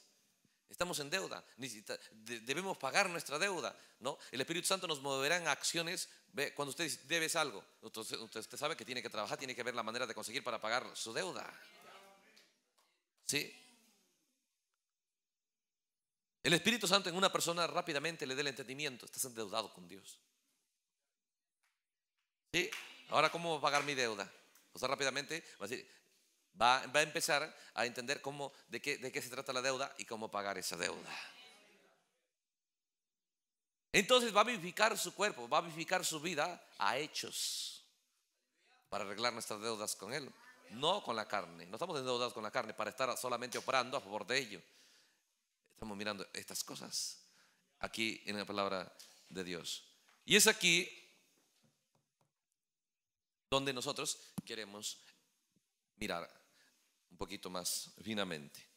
Si retrocedemos aquí eh, o avanzamos a 1 de Corintios capítulo 12, recuerda que estamos siendo un poco lentos y con el objetivo que usted mismo vaya siguiendo la escritura y mirando esta realidad, hermanos, porque si usted capta esta realidad, camine en ella, qué realidad gloriosa va a tomar lugar en su vida, ¿no? Dice aquí Romanos 12.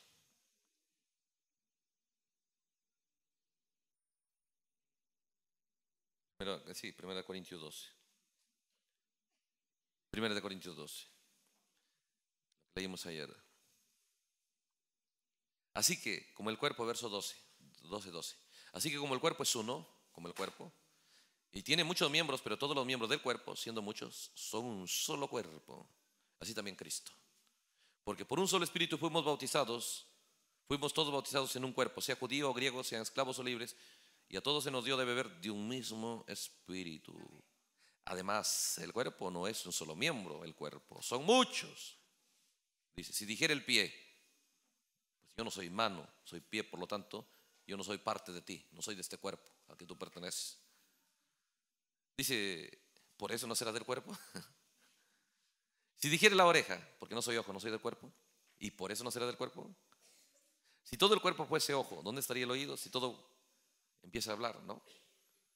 ¿Cómo es que, cómo es que no puede haber, no puede, no puede separarse, no pueden vivir independientes del cuerpo?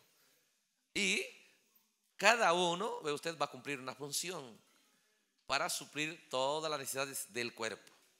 Muy bien. Y es aquí donde nosotros vamos a entender de qué se trata el Espíritu Santo. El Espíritu Santo se trata de colocarnos, ¿ve? Como miembros activos de un cuerpo para beneficiar el cuerpo, ¿no? No podemos operar cuando eh, la, vida cristiana es, completamente individual, es personal la decisión, pero es una decisión personal para operar en el mundo del Espíritu Santo, lo cual es de ser miembro de ese cuerpo. Ahora, y es aquí cómo podemos nosotros ser útiles para el pueblo de Dios. Debiera preguntarse, ¿cómo yo puedo ser útil para el pueblo de Dios? En lo natural pudiéramos serlo, ¿no? Y en lo natural, bueno, y uno empieza en lo natural a, a veces hasta entender las demás cosas. Bueno, tal vez el hermano, los hermanos están trabajando, tal vez por aquí tienes un jugo, por aquí tienes un poco de agua, o tal vez eh, cocinando, tal vez hospedando. Entonces, son cosas naturales. Bueno, estamos haciendo algo, pero son cosas que también el mundo puede hacer eso.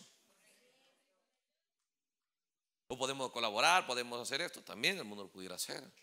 Pero el Espíritu Santo nos lleva a acciones más allá. De, definitivamente Jesús dijo, el mundo no puede recibir el Espíritu Santo porque no le ve ni le conoce. Empieza a hablar de esta realidad. Entonces, ¿cuáles son aquellas acciones? Porque son cosas buenas. Y una persona llena del Espíritu Santo también hace eso.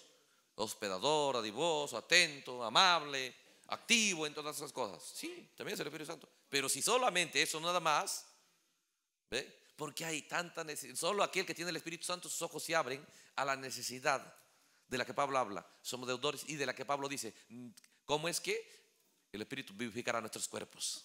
En acciones. ¿No? En acciones para saldar nuestra deuda con Dios. ¿Ve? Entonces, cuando miramos estas cosas, ¿cómo lograrlo? Una de las primeras cosas que nosotros tenemos que entender es que no vamos a operar con cuando alguien va a venir al Espíritu Santo se va a acabar su condición o su actitud de ser una persona eh, que actúa de una manera individual. En el mundo de la vida cristiana no hay individualistas. ¿Sí? No hay individualista, no puede.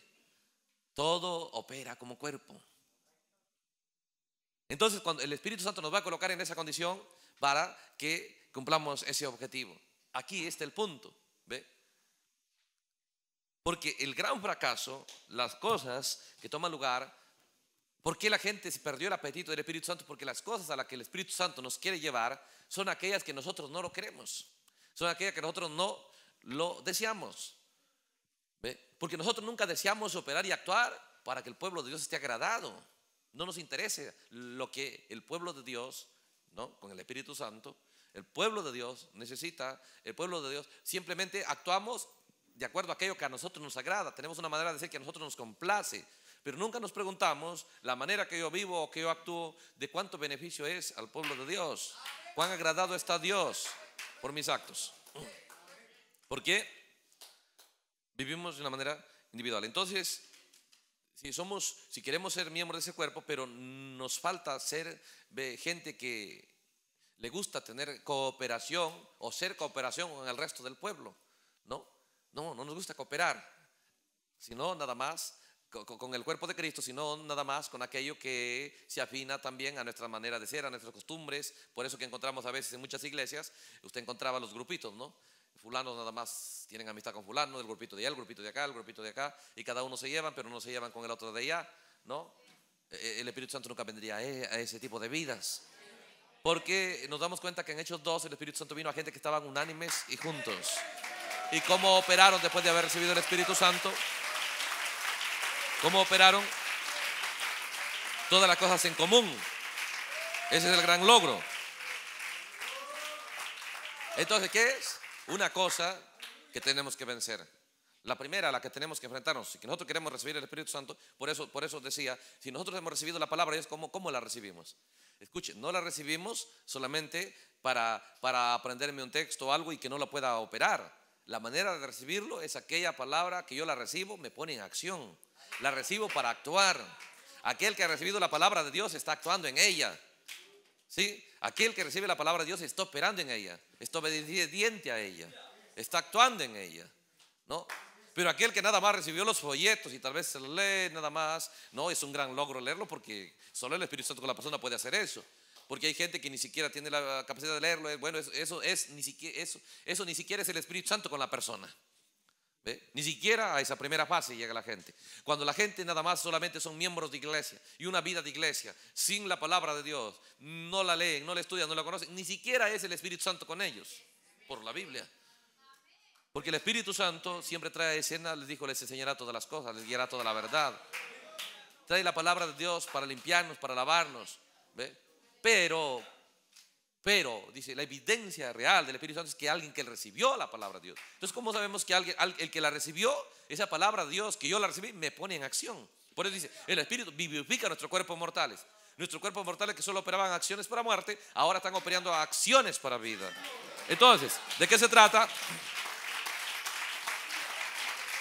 Vamos a, a mostrar estas cosas haciendo que estamos leyendo aquí. Primera de Corintios somos bautizados en un cuerpo, entonces la primera cosa que tenemos que enfrentarnos y tenemos que decidir vencer es la falta de capacidad para operar ¿no? con el como cuerpo. Para la falta de capacidad de ser cooperativo, de cooperar con los demás. Falta de cooperación, si lo quiere ver más simple. No, no hay nada de capacidad en nosotros de operar ¿eh? como cuerpo. No hay capacidad de cooperación. Cada uno nada más quiere hacer algo. Y si hay uno que está de acuerdo con su manera de hacer, bien, juntos. Si no, lo hago yo solo. Hay mucha incapacidad para trabajar juntos. Y es aquello, si usted quiere el Espíritu Santo, es lo primero con lo que usted tiene que confrontarse. Tiene que luchar hasta salir de esa incapacidad de falta de cooperación.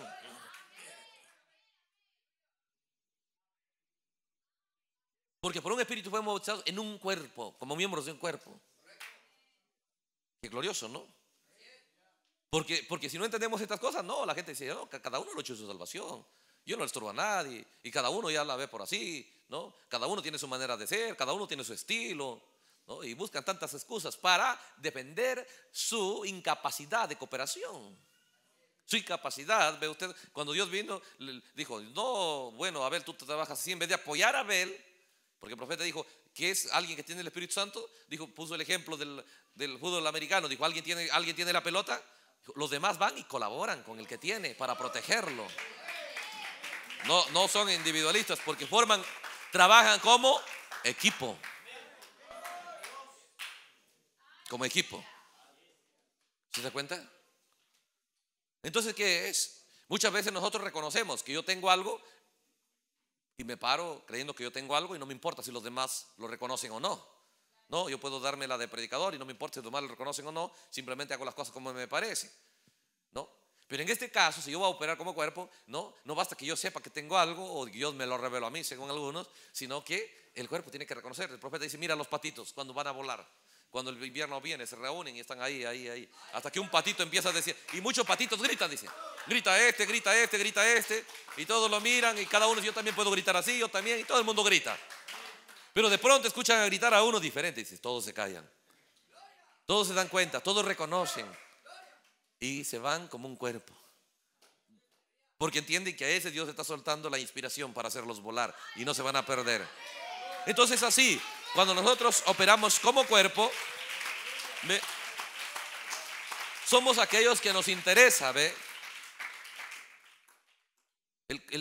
la, la, vindicación de Dios. ¿No? Y la vindicación de Dios es aquello que Dios empieza a colocar en su pueblo, como Ruth. ¿No? Todo mi pueblo sabe, todo el pueblo, piénselo, como cuántas burlas, cuántos menosprecios, era una movabita. Pero su actitud y sus hechos empezaron a hablar la calidad de persona que era y terminó todo el pueblo teniendo un gran respeto. ¿No? Y eso, es lo que pasa. ¿Qué pasaría, hermanos, si cada músico empezara a examinar, ¿no? Yo toco así, así es mi estilo, así es mi manera de ser, así es la forma que lo hago. Pero si empezara, ve usted, a buscar, ¿no? Ahí a consultar y averiguar, investigar, ¿cuánto el pueblo está satisfecho? Con su manera de, hacer, de, servicio que está haciendo las cosas. Si cada cantante empezara a pensar en eso, a investigar, no si yo canté como me parece, como yo puedo, sino si eso está siendo una bendición para el pueblo. Si yo quiero el Espíritu Santo, esa será la forma de vivir de cada persona, esa será la forma de actuar. Ya no, la persona sale de su mundo egoísta, no solamente está haciendo las cosas como este, no haciendo las cosas nada más por hacerlo, sino empezaba a mirar al maestro. No si me aplauden, no si están de acuerdo, pero si el maestro dice. ¿Qué dice el maestro? Y el maestro de una u otra manera nos muestra a través de su pueblo. Entonces, la primera cosa con la que tenemos que enfrentarnos, hay tanta incapacidad, hermanos. ¿Se da cuenta? Porque si fuera tremendo, si cada hermano ve usted, no.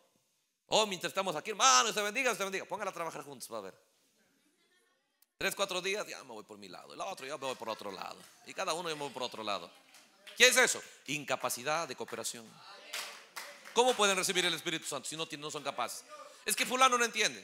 Pero uno, uno tiene que, alguien tiene que ser capaz de poder trabajar de tal manera para derrotar aquello que separa, aquello que divide, aquello, ve usted, que impide el orar como cuerpo. ¿Se da cuenta? Por eso el compañerismo es tremendo. Por eso uno debe buscar la manera de tener ese tipo de compañerismo. ¿Ve? Como decía alguien, ¿no? Mientras, mientras, mientras nada más era en la iglesia, hermano, uy, fulano hermano, qué tremendo hermano. Pero cuando se fue a trabajar con este hermano, decía, yo pensaba que era un buen hermano.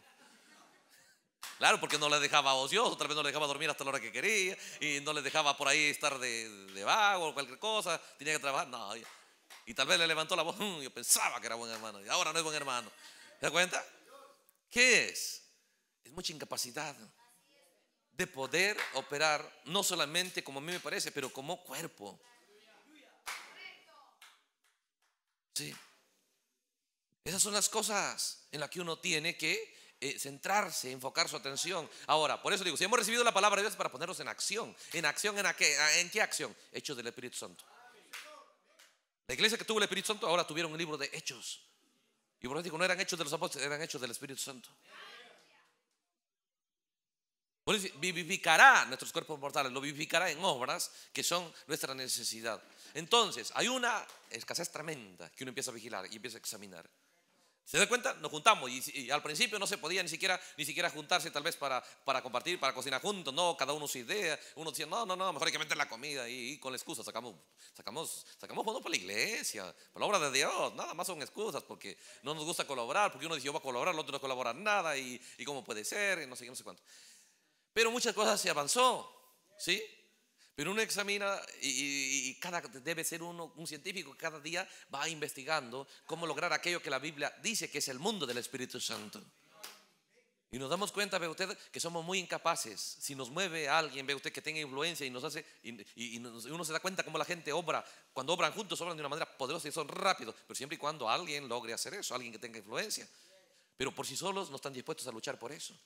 Y mientras sean incapaces de, tener cooperación, de cooperar con otros, y entonces, ve, uno dice, no, pero tienen que cooperar. Yo les digo que hagan esto, no me hacen caso. Hermanos, es una ley. Si usted quiere que cooperen con usted, coopere usted con ellos primero. Así es la palabra de Dios. Entonces, ¿cómo logro esto? ¿Cómo logro ser alguien?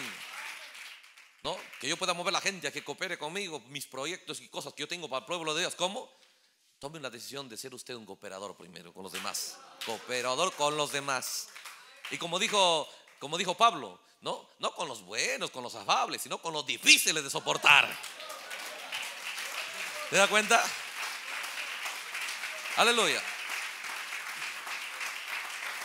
Estamos visualizando y enfocando nuestra atención en ese pueblo glorioso de la iglesia de los hechos, porque este mensaje viene para regresarnos allá. Y la Biblia da testimonio y dice, todos unánimes y juntos, todas las cosas en común.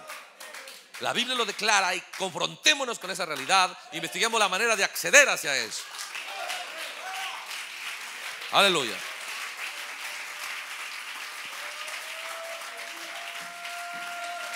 Ahora, ¿por qué vienen estas cosas? Simplemente esa falta de cooperación, somos muy cobardes en eso, muy escasos, muy pobres, completamente pobres en, cooperación. ¿No? No se puede. Por ejemplo, sabe que hermanos trabajen juntos, busquen un trabajo, ya trabajemos, ¿no? Y no hay confianza, este va a ganar más, y a mí me va a trabajar más, y él gana más, y a mí me pagan menos. ¿Qué es? Simplemente la falta de cooperación tomó lugar por cuanto hay desconfianza en la otra persona. Ah, pero él tiene desconfianza también. Pero bueno, que él lo tenga, pero yo no, pues. Él no confía. Pues que él no confíe, pero yo sí, pues. Porque yo soy el que estoy corriendo la carrera por el Espíritu Santo.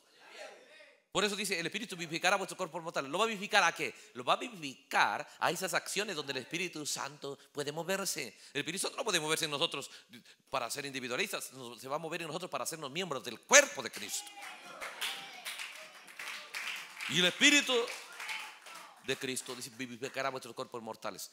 ¿No? Porque estamos operando nada más para muerte de una manera individual. Fuimos hechos para el compañerismo. Cristo vino y restauró ese compañerismo. ¿Se da cuenta? Entonces, ¿qué es? Simplemente usted ya sabe las claves, todo aquello que usted es escaso y cómo lo puede obtener, ¿no? Aquello que usted entiende que necesita para usted, hermano, necesito de repente gente que colabore y que coopere conmigo. Pues simple, fácil, siempre, siempre y luego cosecha. Lo que quiera cosechar, siempre. La ley de la siembra y la cosecha. Hermano, es que yo llamo y nadie responde. Pues esté atento a los que llaman y responde usted. Y con el tiempo terminarán respondiendo a su llamado también. Aleluya. Esas son las cosas como suceden. Porque a veces decimos, estos muchachos son rebeldes, estos no hacen caso, yo les grito y no hacen caso. Solución. Entonces yo voy a hacer, yo voy yo voy yo voy a sembrar primero. ¿Sí? Voy a cosechar. Para, para, cosechar tengo que sembrar primero. Entonces una de las cosas que, que, hacen es falta, mucha falta de confianza, ¿no? Desconfío de los demás, ¿no? Y no tengo, ve usted esa actitud y me considero yo, ve usted, la víctima, ¿no es cierto? tremendo estas cosas. Ahora, para que nosotros logremos, para que nosotros logremos ser gente que pueda juntar y mover al pueblo a ese compañerismo, a esa unidad, porque hay posibilidades de movernos y trabajar. Hermano, ¿cuánto sería? ¿Cuánto sería que cada creyente, que a muchos tienen unos oficios similares o parecidos, ¿no? Cada uno trabajando por su lado, ¿qué pasaría si se juntaran? ¿No dice el proverbio Salomón que cordón de dos dobleces se rompe difícilmente? Entonces, ¿cuánto más puede lograr si algunos hermanos a veces hasta en lo natural? ¿Cuánto más en lo espiritual? Pero si en lo natural pueden hacerlo. ¿Qué es? ¿Por qué, por qué vienen esas cosas? No, no se puede lograr porque simplemente no hay influencia. Y esa influencia es, ve usted, gente en los cuales nosotros sí podemos confiar, podemos tomar en serio su palabra, podemos, para, ese, para que haya influencia tiene que haber un testimonio. Entonces, ¿por qué hay tanta falta de cooperación? Porque hay tanta pobreza en testimonio.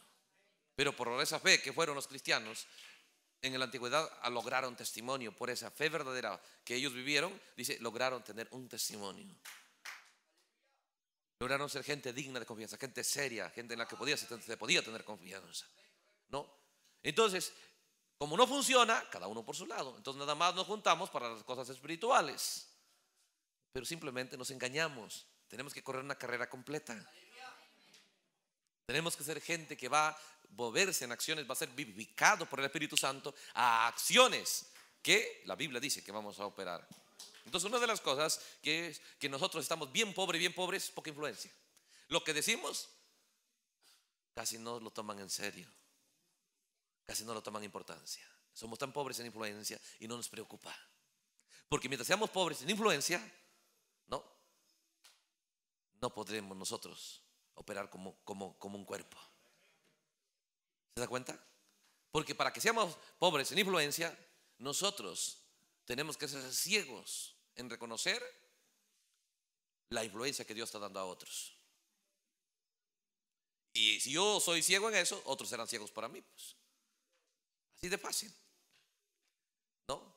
Entonces, eh, la otra cosa es que las ideas que nosotros tenemos no son ideas, pues como se dice, que no son, no son ideas emprendedoras, son simples pequeñas cosas nada más. Pero cuando son ideas, ve usted, que, nos llevan a emprender ciertas cosas grandes, entonces, oye, sí, mira, y, nos llama la atención, ¿no? Y, son ideas que incluyen y, están basadas y están, y están con un objetivo del bien de los demás. Pero a veces las ideas nada más están para el bien de nosotros. Entonces, entonces falta, ve usted, de ideas que emprendan acciones que beneficien a la persona. Porque nosotros siempre estamos buscando ideas que nos beneficien. Pero aquel que quiera ser uno, que, que lidere influencia, que lidere, ve usted, a mover al pueblo de Dios, eh, a operar como cuerpo, él tiene que estar investigando, investigando y buscando traer ideas de beneficio para el resto. Y si él siembra eso, terminará un día abriéndole Dios el acceso a ideas de beneficio para él también, porque lo que siembra es cosechas. Muy bien, ¿cómo es que nosotros podemos sobresaltar estas cosas y vencer? Aquí está la clave. Estamos, estamos dando la manera general y digámoslo de una manera humana esta explicación, pero ahora vamos a la Biblia, cómo toma lugar estas cosas. Miremos un poquito aquí Éxodo. Nos estamos tardando un poco, bueno, estamos de reunión, no hay problema, ¿no? Dije que Todas estas cosas que queremos investigar, porque recuerde, somos deudores, en otras palabras, tenemos, necesitamos actitudes de gratitud y queremos salir, ve usted, entendiendo cómo se mostrar gratitud a Dios. ¿No? Entonces, Éxodo capítulo 2.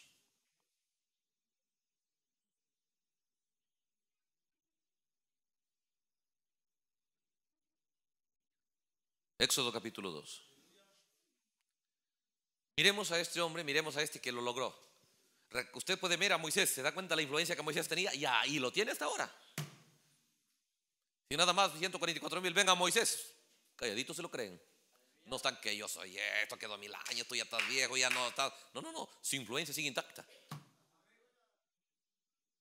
¿Cómo lo logró?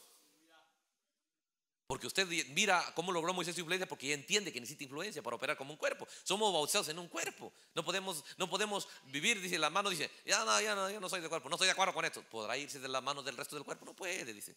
Dejará de ser ya parte del cuerpo, no puede. Entonces, cuando nosotros estamos buscando esa realidad del Espíritu Santo, tenemos que entender, ve, por la palabra de Dios, cómo llegar a esa realidad. Entonces miramos uno con gran influencia, como Moisés, lo logró. Pero ¿cómo lo logró? No siempre lo tuvo. ¿eh? Miremos aquí Éxodo 2. Cuando nosotros estamos mirando, hermanos, estas cosas, entendemos el deseo y estamos trabajando con gente que realmente desean agradar a Dios. Con gente que tiene el deseo de hacer las cosas correctas. El punto es que cómo, cómo hacerlo. Sí, falta de entendimiento de cómo hacerlo. Y es aquí donde vamos a mirar estas cosas. Moisés era un hombre que quería y, y tenía respeto y amaba al pueblo de Dios. Sí. Y quería ayudar al pueblo de Dios. Dice la Biblia el verso 11. En aquellos días sucedió que Moisés, ya, crecido Moisés, salió a sus hermanos y los vio en sus duras tareas. Observó a un egipcio que golpeaba a uno de los hebreos, sus hermanos. Miró a todas partes, viendo que no parecía nadie, mató al egipcio y lo escondió de la arena. ¿No? Tenía un deseo, un buen deseo Por eso le digo, nosotros muchas veces tenemos un buen deseo, pero no podemos agradar a Dios. Solamente nos quedamos con el deseo. Esa es, una etapa que, nunca la pegaremos en el blanco si no entendemos cómo salir de ahí. Entonces nosotros debemos anhelar salir del mundo de solo desear. Estamos como el perezoso solo desea y nunca lo alcanza. Entonces Moisés desea servir a Dios. Y empieza a tener unas acciones aparentemente a favor del pueblo de Dios. Dice el versículo 13. Al día siguiente salió y vio a, dos hebreos que reñían. Entonces dijo al que maltrataba al otro, ¿por qué golpeas a tu prójimo? Él respondió, ¿quién te ha puesto a ti por príncipe y juez sobre nosotros? ¿Piensas matarme como mataste al egipcio?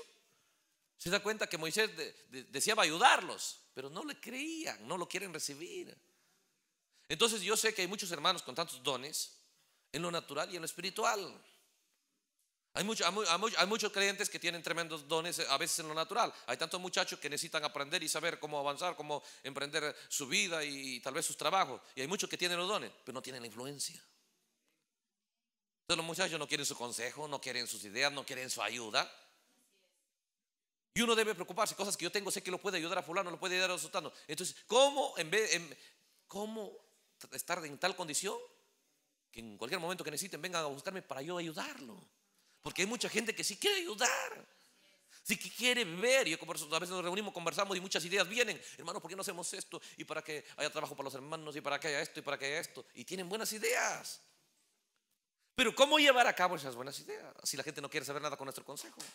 Porque no tenemos influencia. Porque no tenemos confianza de la gente. Porque a la gente no le importa nuestro consejo. Porque a la gente no le importan nuestras ideas. Y nos, portamos, insolentes como se portaron con Moisés. Y todo atrevidos. Entonces la persona toma resentimiento, como tomó Moisés, dijo, no te voy a decir nada, lo que quieras ya. Arruina tu vida ya. ¿Se da cuenta? Pero eso es, eso es pobreza en influencia. Esa es incapacidad. Y esa es una cosa que tenemos que decidir solucionarlo en nuestra vida. Tenemos que correr una carrera, vamos a solucionar eso. Cada uno debiera mirar, ve usted, y buscar aprender cómo poder tener una vida ve, mejor, aún en lo natural, para que pueda tener más tiempo en la cosa de Dios, más tiempo para el compañerismo, más tiempo para ayudar al resto del pueblo de Dios. El punto es que pueda la gente aceptar nuestra influencia. Entonces dice, dice aquí, Moisés fue, mire hermano, usted, ¿Sabes qué? ¿Quién te ha puesto? ¿Por quién te engañó que, que, eres nuestro juez, nuestro consejero? Y lo votaron. ¿Se da cuenta? No siempre Moisés tuvo influencia, pero se da cuenta hoy la influencia de Moisés. ¿Ah? ¿Cómo llegó? ¿Acaso usted tiene que entender que, hermanos, cuando nosotros miramos el mundo del Espíritu Santo, es el mundo de gente con influencia, gente que lo que dice es respetable, lo que hace, lo, sus palabras, sus actos, todo eso es admirable. Gente de los cuales el mundo no era digno de tenerlo. Dios tiene un plan de hacer eso con ustedes y ese es el mundo del Espíritu Santo. Pero anhela hacer ese, llegar a ese mundo. Está bien, llegamos a la iglesia, llegamos a compañerismo. Oh, hermano, pero el plan de Dios es más grande para usted todavía. El deseo de Dios todavía sigue más grande para usted.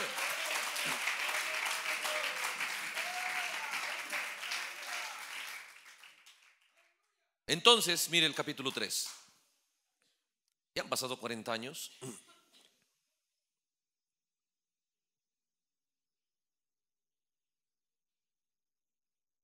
Y Dios le encuentra a Moisés, le dice por qué ha descendido, le dice la aflicción del pueblo y le dice el versículo 10, ven por tanto, ahora te enviaré a Faraón para que saques de Egipto a mi pueblo, los hijos de Israel.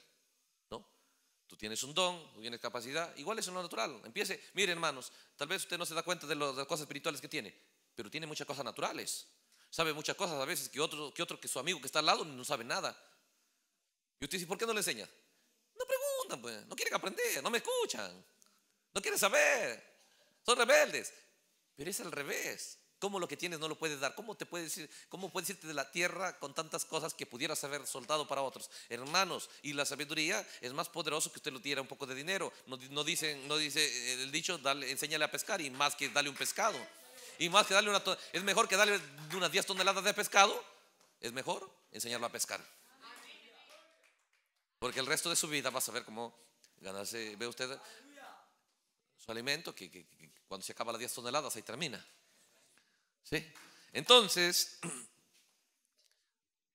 dice Dios, ven por tanto, te voy a enviar ahí al pueblo, para que saques de Egipto a mi pueblo, al pueblo de Israel. Te voy a enviar. Pues ya ha ido y no quieren. Por eso, hermanos, dicen, no, yo ya lo, dije, no quiere ya. Y usted se resigna, se re- se- derrotado, corre. Moisés corrió derrotado. ¿Cuál era su derrota? No tenía influencia. No le prestaban atención. Esa era su derrota. Ahora mire si usted ahí no está derrotado. ¿Ah?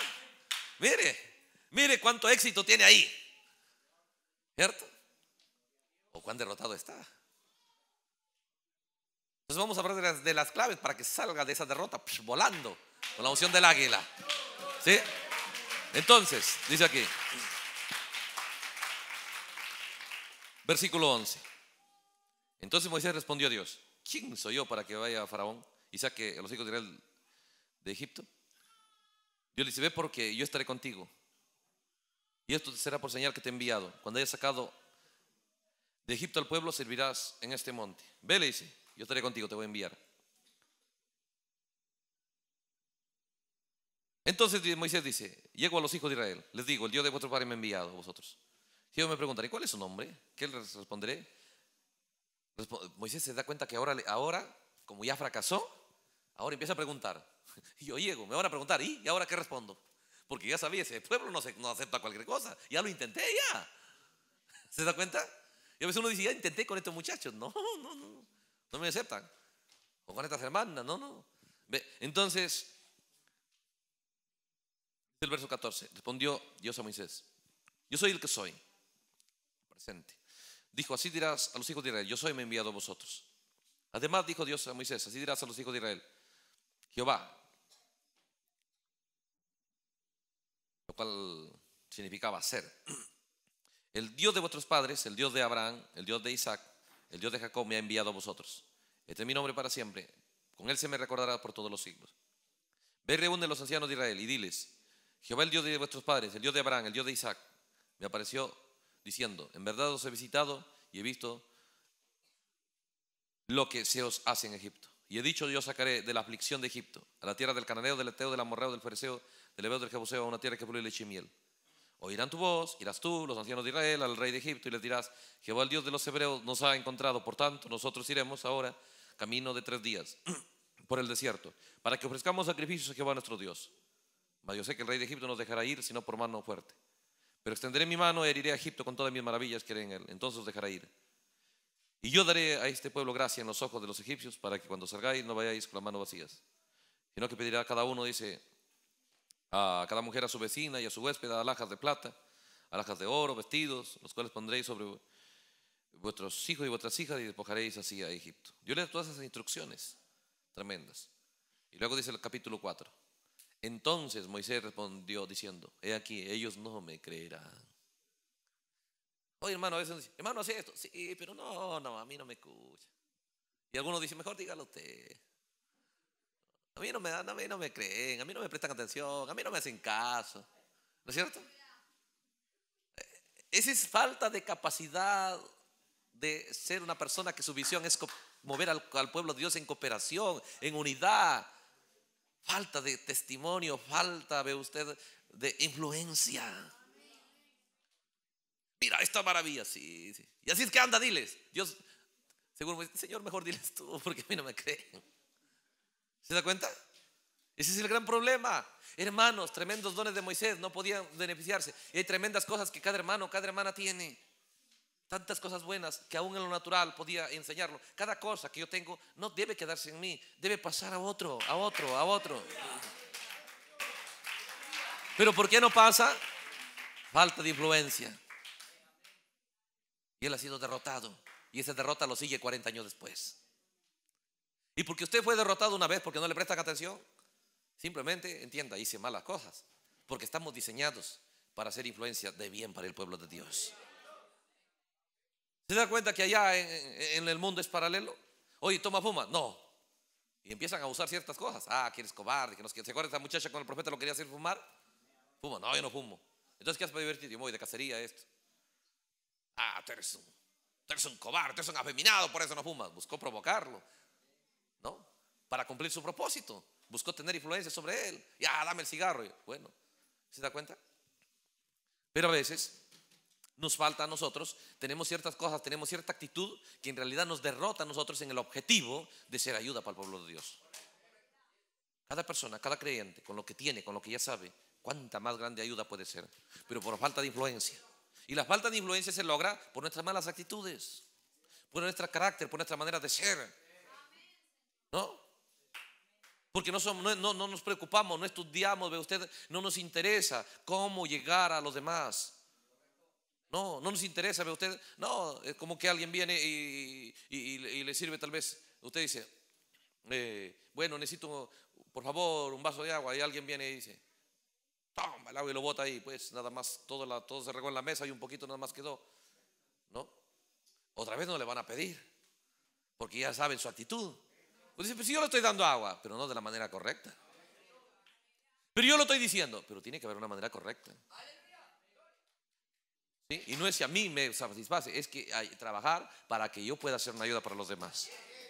El Espíritu Santo viene a ponernos ¿qué? en servicio de los demás. Nos coloca en beneficio de los demás. Y haciendo eso, también usted se beneficiará definitivamente, buscando el reino de Dios y su justicia, las demás cosas serán añadidas. Y es aquello en lo que debemos trabajar. Hay mucha cobardía, hay mucha falta de capacidad, mucha falta de influencia. Si no nos interesa eso, entonces como nadie nos presta atención, vivimos de una manera individual. Lo que yo sé para mí, y si alguien me preguntara y por ahí nada más alguien que me cae bien, ¿no? Pero hermanos, hay un real objetivo en el cual debemos trabajar. Entonces Moisés dice, Señor, ellos no me creerán, ni oirán mi voz, porque dirán, no, te ha parecido que eres un mentiroso. Soy mentiroso, para ellos no valgo nada, no me creen, no me prestan atención, lo que digo no vale. Entonces crea un resentimiento. Y a veces hay resentimiento, hay un poco de celo, eh, y un poco que uno a veces para cuidándose de la mano porque este ya dice lo que piensa de mí. Este me tiene cólera, este me tiene esto. Usted camina con esas cosas, camina derrotado, camina en el mundo donde esas cosas no existen, porque esas cosas empobrecen. Ve usted su capacidad de tener un testimonio, un testimonio que lograron los antiguos por fe. ¿Se da cuenta? Entonces, ¿cómo lo va a lograr? Empieza a examinar la necesidad del resto de las personas. Entonces Moisés dice, tengo este problema. Yo creo la palabra de Dios, quiero ayudarlos, sé que están en necesidad, sé que hay algo que hay que hacer, yo quiero ayudarlos. Pero el punto es, no me creen, no me quieren escuchar. Y tiene que haber una manera que sí quieran escucharlo. Entonces el diablo viene y dice, es que tú naciste, que no te presten atención. Y uno acepta eso. No, cada uno llega a ser miembro de un cuerpo, ¿no es cierto? Bajo una jefatura donde Jesús dijo, Seréis testigos, Jerusalén, Samaria está lo último de la tierra. Hoy, bajo el séptimo sello, tome el librito, cómelo y luego profetiza pueblos, tribus, lenguas y naciones. Hay tanta necesidad de lo que usted tiene, de lo que usted conoce, de lo que usted sabe, de lo que usted puede hacer. Hay tanta necesidad, pero por falta de influencia, usted no está cumpliendo, usted no está operando en ello. Por lo tanto, debemos emprender acciones para corregir esa pobreza en influencia. ¿Se da cuenta? Entonces, Dios le dice, si es el problema, yo te voy a enseñar. Te voy a enseñar la clave para que te crean. ¿Sabes por qué no te cree? Ah, hermanos, no sé si hay tiempo. ¿O lo dejamos para mañana?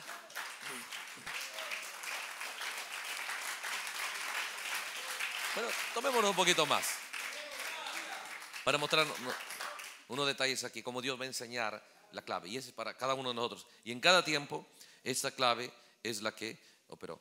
Entonces nosotros a veces nada más nos hace tan resentidos y buscamos, ve, gente que, que, nada más nos quiera oír, nos quiera prestar, y esos son mis amigos, los demás son gente eh, no predestinada, ¿no? Piénselo. Pero, pero recuerde, nosotros tenemos que examinar que sea la verdad de la palabra de Dios. Lo único que nos separa es la doctrina. Pero mientras la gente quiera creer la palabra de Dios, no hay razón de estar separados. Que sea la palabra de Dios, no la idea del hombre. Entonces dice, ¿por qué la gente no tiene influencia? Es por esto.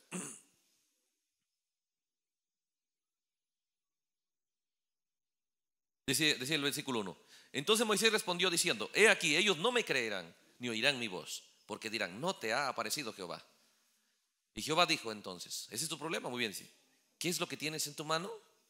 Y él respondió una vara. Ahora recuerden que esta vara era tipo de Cristo, porque ahí radicaba el poder de Dios, y él ya lo tenía, ¿es cierto? Esa vara era tipo de la palabra de Dios, ¿verdad? Pero él nada más lo usaba como algo común, como algo nada más para cuidar ovejas, para caminar, nada más para eso. Pensaba que sirve. Le dijo, lo que tú tienes sirve para más. El problema es que no. Entonces le dice, ¿qué tienes en la mano? Él dijo, ve, una vara. Entonces él dijo, échala en la tierra. Y él la echó en tierra. Y se hizo una culebra. Moisés huía de ella. Entonces dijo Jehová a Moisés, extiende tu mano y tómala por la cola. Él extendió su mano y la tomó y se volvió una vara en su mano. Y luego dice, por esto te creerán que se te ha parecido Jehová, el Dios de tus padres, el Dios de Abraham, el Dios de Isaac, el Dios de Jacob. ¿Qué está haciendo Dios? Dios está solucionando la falta de influencia de Moisés. Dios está solucionando la falta de confianza en Moisés. Porque no, ¿cómo puedo hacer algo por alguien que no me crea?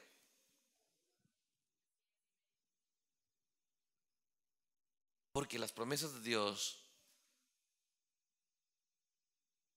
toman lugar de esta manera.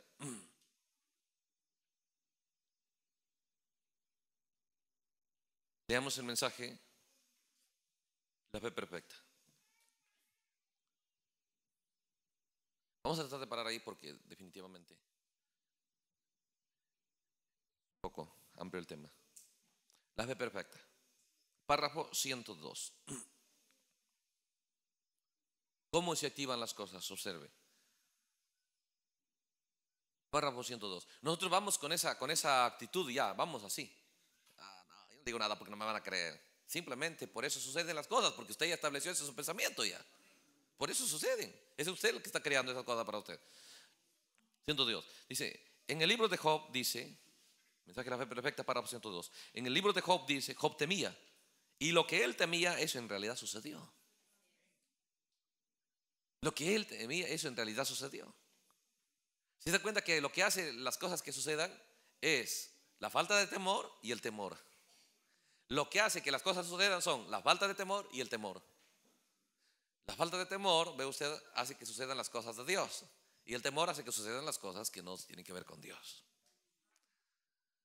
Entonces dice aquí, lo que eh, temía Job, eso es lo que sucedió. ¿Qué lo trajo? Su temor. Esto hizo que sucediera.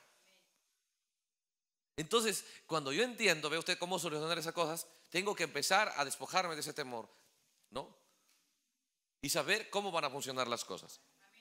Dice la Biblia, su temor hizo que sucediera. Su fe, ve, lo hubiera cuidado, pero su temor se lo trajo, trajo su desgracia. Él tenía miedo de que cierta cosa le iba a suceder y así fue. Pero si él hubiera estado convencido que no iba a suceder, entonces no hubiera sucedido. ¿Ven lo que quiero decir? Ahora, observen, ¿no? Entonces, esas cosas basta que le sucedió una vez, porque él fue todo animado, va a libertar a Israel, se animó tanto, voy a ayudar al pueblo de Dios. Y cuando de pronto, fuera de quien ya ha puesto de juez, Y cada vez que le hablaban, anda Israel, no, ya, le agarró miedo. ¿Sí?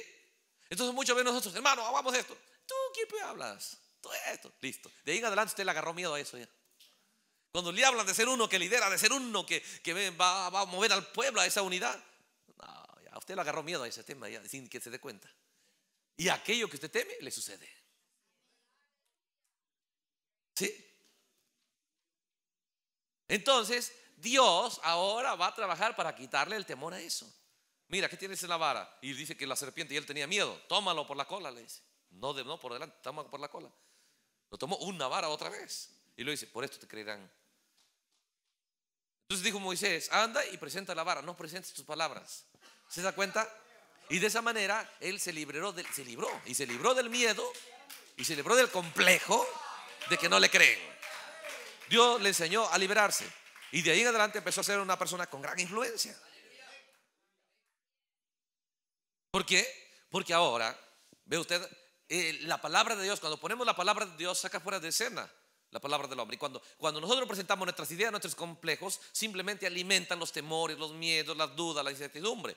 A tal punto que muchas personas dicen, no sé, yo digo así, no sé si será así, puede que no sea, pero yo lo creo así. Eso nutre ese monstruo del miedo que hace que sucedan todas las cosas malas a la persona. Estamos mostrando estas cosas aquí, el mensaje. Entonces el profeta dice, miren por qué Job le pasó todas esas cosas, porque él temió y simplemente eso lo trajo a, suceder. Entonces, dice el párrafo 103, si usted tiene miedo cuando usted viene por la línea de oración y tal vez dice, tal vez simplemente, tal vez no tengo la fe, tal vez no tengo la fe suficiente, pues nunca sucederá. ¿Lo ve? Dice. Pero si usted sabe que va a suceder, entonces así será. Es una sustancia. Job dijo que temía todas estas cosas, ve, que le acontecieran. Y así fue. Si usted teme que su enfermedad no le dejará, pues entonces así será. Si usted tiene fe que lo dejará, pues así será. Ahora, es ahí donde yo saco las cosas cerradas y la influencia viene cuando la persona ya no teme. Y la única manera de no temer es que yo haga las cosas 100% seguras. ¿No? ¿Qué pasaría si usted dice, mm, eh, mira, mi hermano, yo, voy a pasar tal vez este, este canal, voy a poner eh, tal vez eh, este cartón ahí y voy a pasar, ¿no? Usted no va a pasar confiado porque sabe que eso no resiste. O tal vez va, a poner ahí una tabla que, está media débil. Usted pasa con miedo porque pueda. Pero cuando usted pone pues unos hierros poderosos ahí, una columna, usted pasa tranquilo, contento y todavía se sienta, descansa porque usted sabe que es algo, algo seguro. ¿Sí? Entonces, nosotros tenemos que saber despojarnos. La falta de influencia es porque la gente opera en el mundo del miedo, en el mundo del temor. Entonces eso nunca le llevará a tener un testimonio. Pero ¿por qué viene a escena? Porque nosotros estamos operando en algo inseguro. Y algo inseguro siempre son nuestros propios conceptos. Siempre son nuestras propias ideas, nuestros propios pensamientos, nuestro propio sentir, nuestras propias sensaciones. Pero Dios le enseñó a Moisés, le dijo, ¿quieres, ¿quieres salir fuera de escena, de ese miedo, de ese fracaso? Pues le dijo, presenta la vara. Por eso te creerán.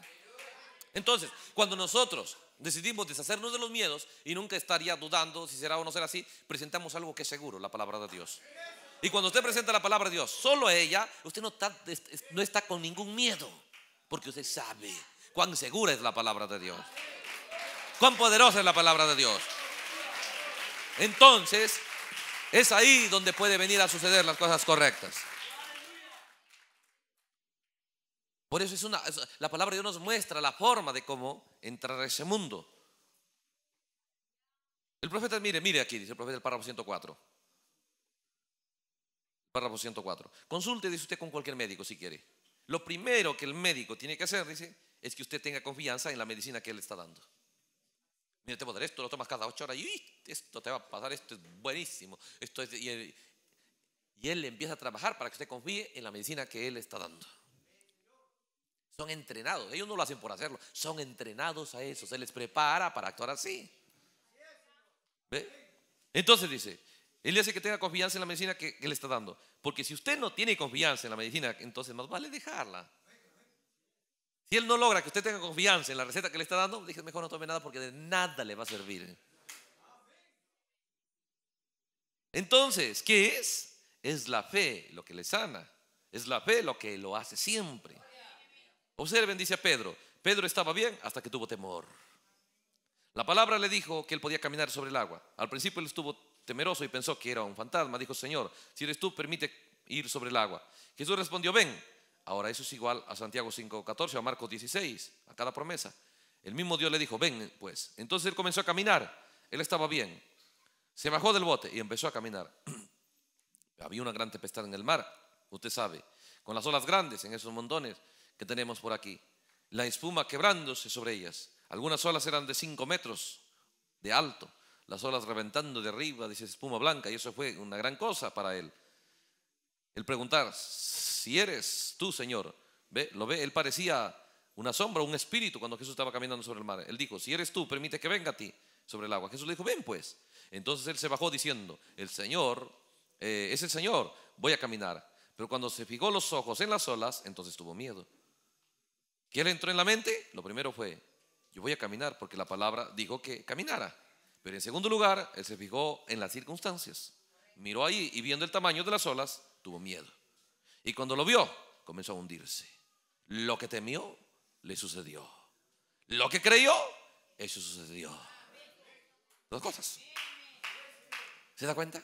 Entonces dice, cuando nosotros recibimos la palabra de Dios, recibimos y lo que ella nos dice, ya no tememos llevarlo a cabo. Si esa palabra nos está ordenando que el Espíritu Santo nos va a bautizar en un cuerpo y nos va a hacer, ve usted, gente que van a operar como cuerpo, como miembros de un cuerpo en esa unidad, ya no le tenemos que tener miedo. Vamos a emprender eso. Tal vez me rechacen diez veces, tal vez me insulte, me lance por ahí, me aviente, me tiren al suelo, usted se levanta. Lo va a lograr.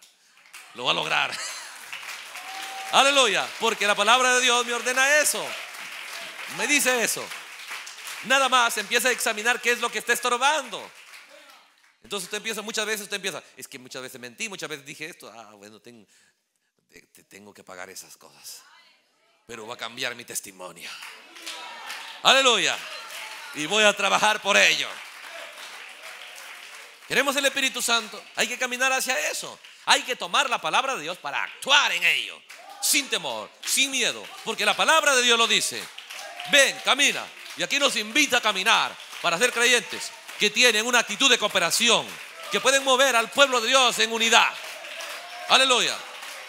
Que, pueden entrar en ese mundo de influencia, en ese mundo de ser un testimonio correcto, un ejemplo correcto. Entran en ese desafío. ¿Se da cuenta? Son las cosas como funcionan. Entonces yo le digo a Moisés, no me van a creer. Muy bien, solucionemos eso. Para que es tu miedo lo que hace las cosas. Tu miedo es. Porque cuando, cuando te dijeron eso y temiste, se acabó todo. Si Moisés no hubiese temido, la Biblia dice, Moisés temió en gran manera. Cuando le dijeron, mataste al egipcio. Uy, se asustó, temió, listo. Lo que nos fue el miedo. Ahora Dios tiene que sacar el miedo, la falta de, usted de valentía, el temor, el miedo nos hace ser gente sin influencia por miedo. Todo cobarde no tiene influencia. Él puede gritar que es valiente, pero el valiente siempre tiene influencia porque ya no tiene miedo. A todo aquello que Dios le dice, él emprende esas cosas. Pero todo aquello que teme, pierde. Moisés temió, perdió su influencia y no la podía recuperar. 40 años después lo persigue ese monstruo todavía. Entonces Dios dice, está bien, está bien, vamos a quitar eso fuera de escena. Lanza la vara. Señor, y ahora sí, dice, anda, presenta la vara allá, listo, te van a creer por esto. Lo mismo aquí. Entonces, para nosotros quitarnos los miedos, empecemos a caminar en terreno seguro, inconmovible, a una verdad que no hay forma de que esté errada. Aleluya. Hagamos protagonista la palabra de Dios el resto de nuestros días.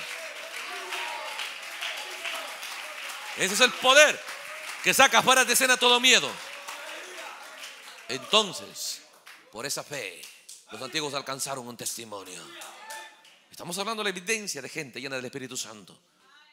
Empiezan a entender cómo, sabiduría para saber cómo operar las obras de Dios. ¿Se da cuenta? Entonces, ve usted, cuando el miedo viene? Cuando operamos en algo que no es seguro. Entonces, dice el profeta, lo que temió Pedro le sucedió. Lo que él creyó, eso sucedió. Cuando creyó que podía caminar, caminó. Cuando él creyó. Y cuando tuvo miedo en su creencia, entonces la sustancia lo dejó. ¿Entienden? Pero él todavía profesaba su fe. Él todavía profesaba que creía, pero no tenía la sustancia. No tenía el resultado. La sustancia hubiera atravesado por encima de esas olas blancas hasta llegar a Jesús. Eso es si hubiera tenido la fe perfecta, pero no la tuvo. Pensó que la tenía, temía al principio, estaba dispuesto a arriesgarse porque el Señor había dicho que lo hiciera y tenía que suceder. Por lo tanto, él se bajó del bote y se fue. Él nunca pensó en las olas, que eran contrarias a ellas. Nunca tuvo eso en su mente, ¿ve? Pero cuando eso se pone a pensar, cuando usted se pone a pensar, ahora espere, dice, ¿ve? bueno, he estado enfermo mucho tiempo. No, no, no piense en eso. Por eso estamos hablando, no piense en lo negativo, olvídese de las cosas, ay hermanos, que yo pasé esto y que pasé hambre y que pasé pobreza. Olvídese de toda la cosa negativa. Porque esas cosas alimentan el miedo, el temor, la melancolía, la tristeza. Y la actitud en la que estamos trae a escena resultados. Olvídese de esas cosas.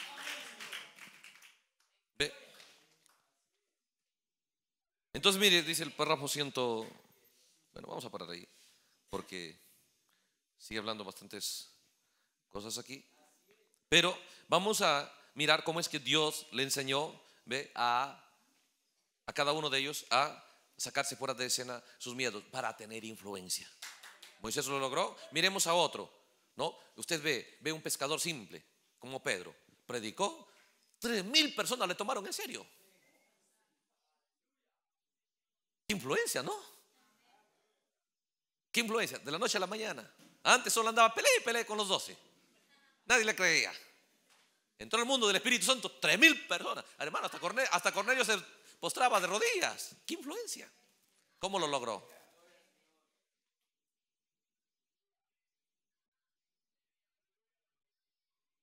Solo, voy a relatarle nomás por el tiempo. Solo voy a relatarle. ¿Cómo lo logró?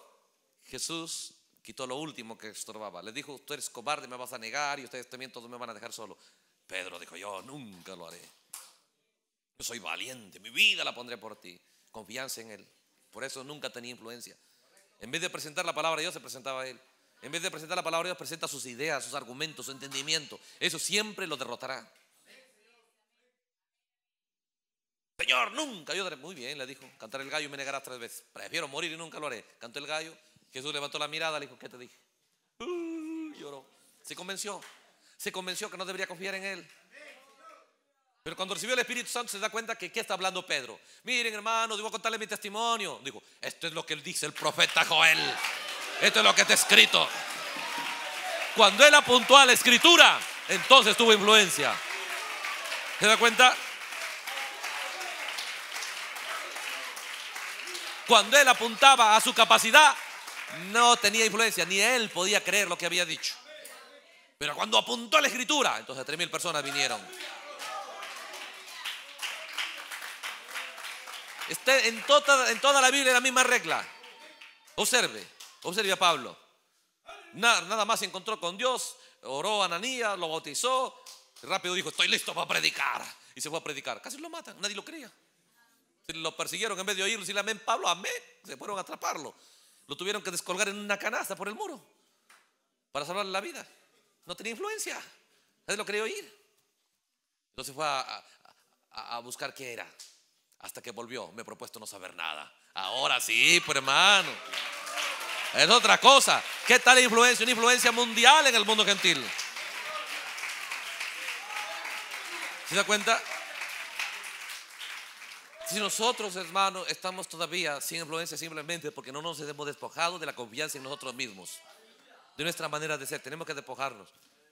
Hermano, ¿tú qué dices? A mí no me gusta tu manera de ser, ¿qué no te gusta de mí? Esto y esto y esto, muy bien, ayúdame a dejarlo. Así. Y yo dije, sí, ¿estás dispuesto a cambiar? Sí, muy dispuesto. Oh, hermano, ¿quién no va a querer ese tipo de gente, no es cierto? ¿Cómo van a rechazar? Pero no, está bien, pero no te gusta, no te gusta, pues cada uno la ve por sí. No, así no es el cuerpo de Cristo. El cuerpo de Cristo debe funcionar en una unidad perfecta. Estaban todos unánimes y juntos. ¿Está bien? Aleluya. Vemos esas cosas en la palabra de Dios. Y así es que, si no tenemos esa visión, no, piénselo. Le estamos mostrando el objetivo y le estamos mostrando cómo. Vamos a parar ahí por el tiempo. Trabajemos en ello, muy sinceramente. Y estas cosas no van a tomar lugar solamente porque usted ya lo entiende. Tiene que trabajar hasta que pueda llegar a ser la palabra de Dios poniéndole en acción. Vamos a orar, Dios permite, continuamos el día de mañana. Y después puede seguir cantando y adorando y siguiendo disfrutando este compañerismo. Aleluya.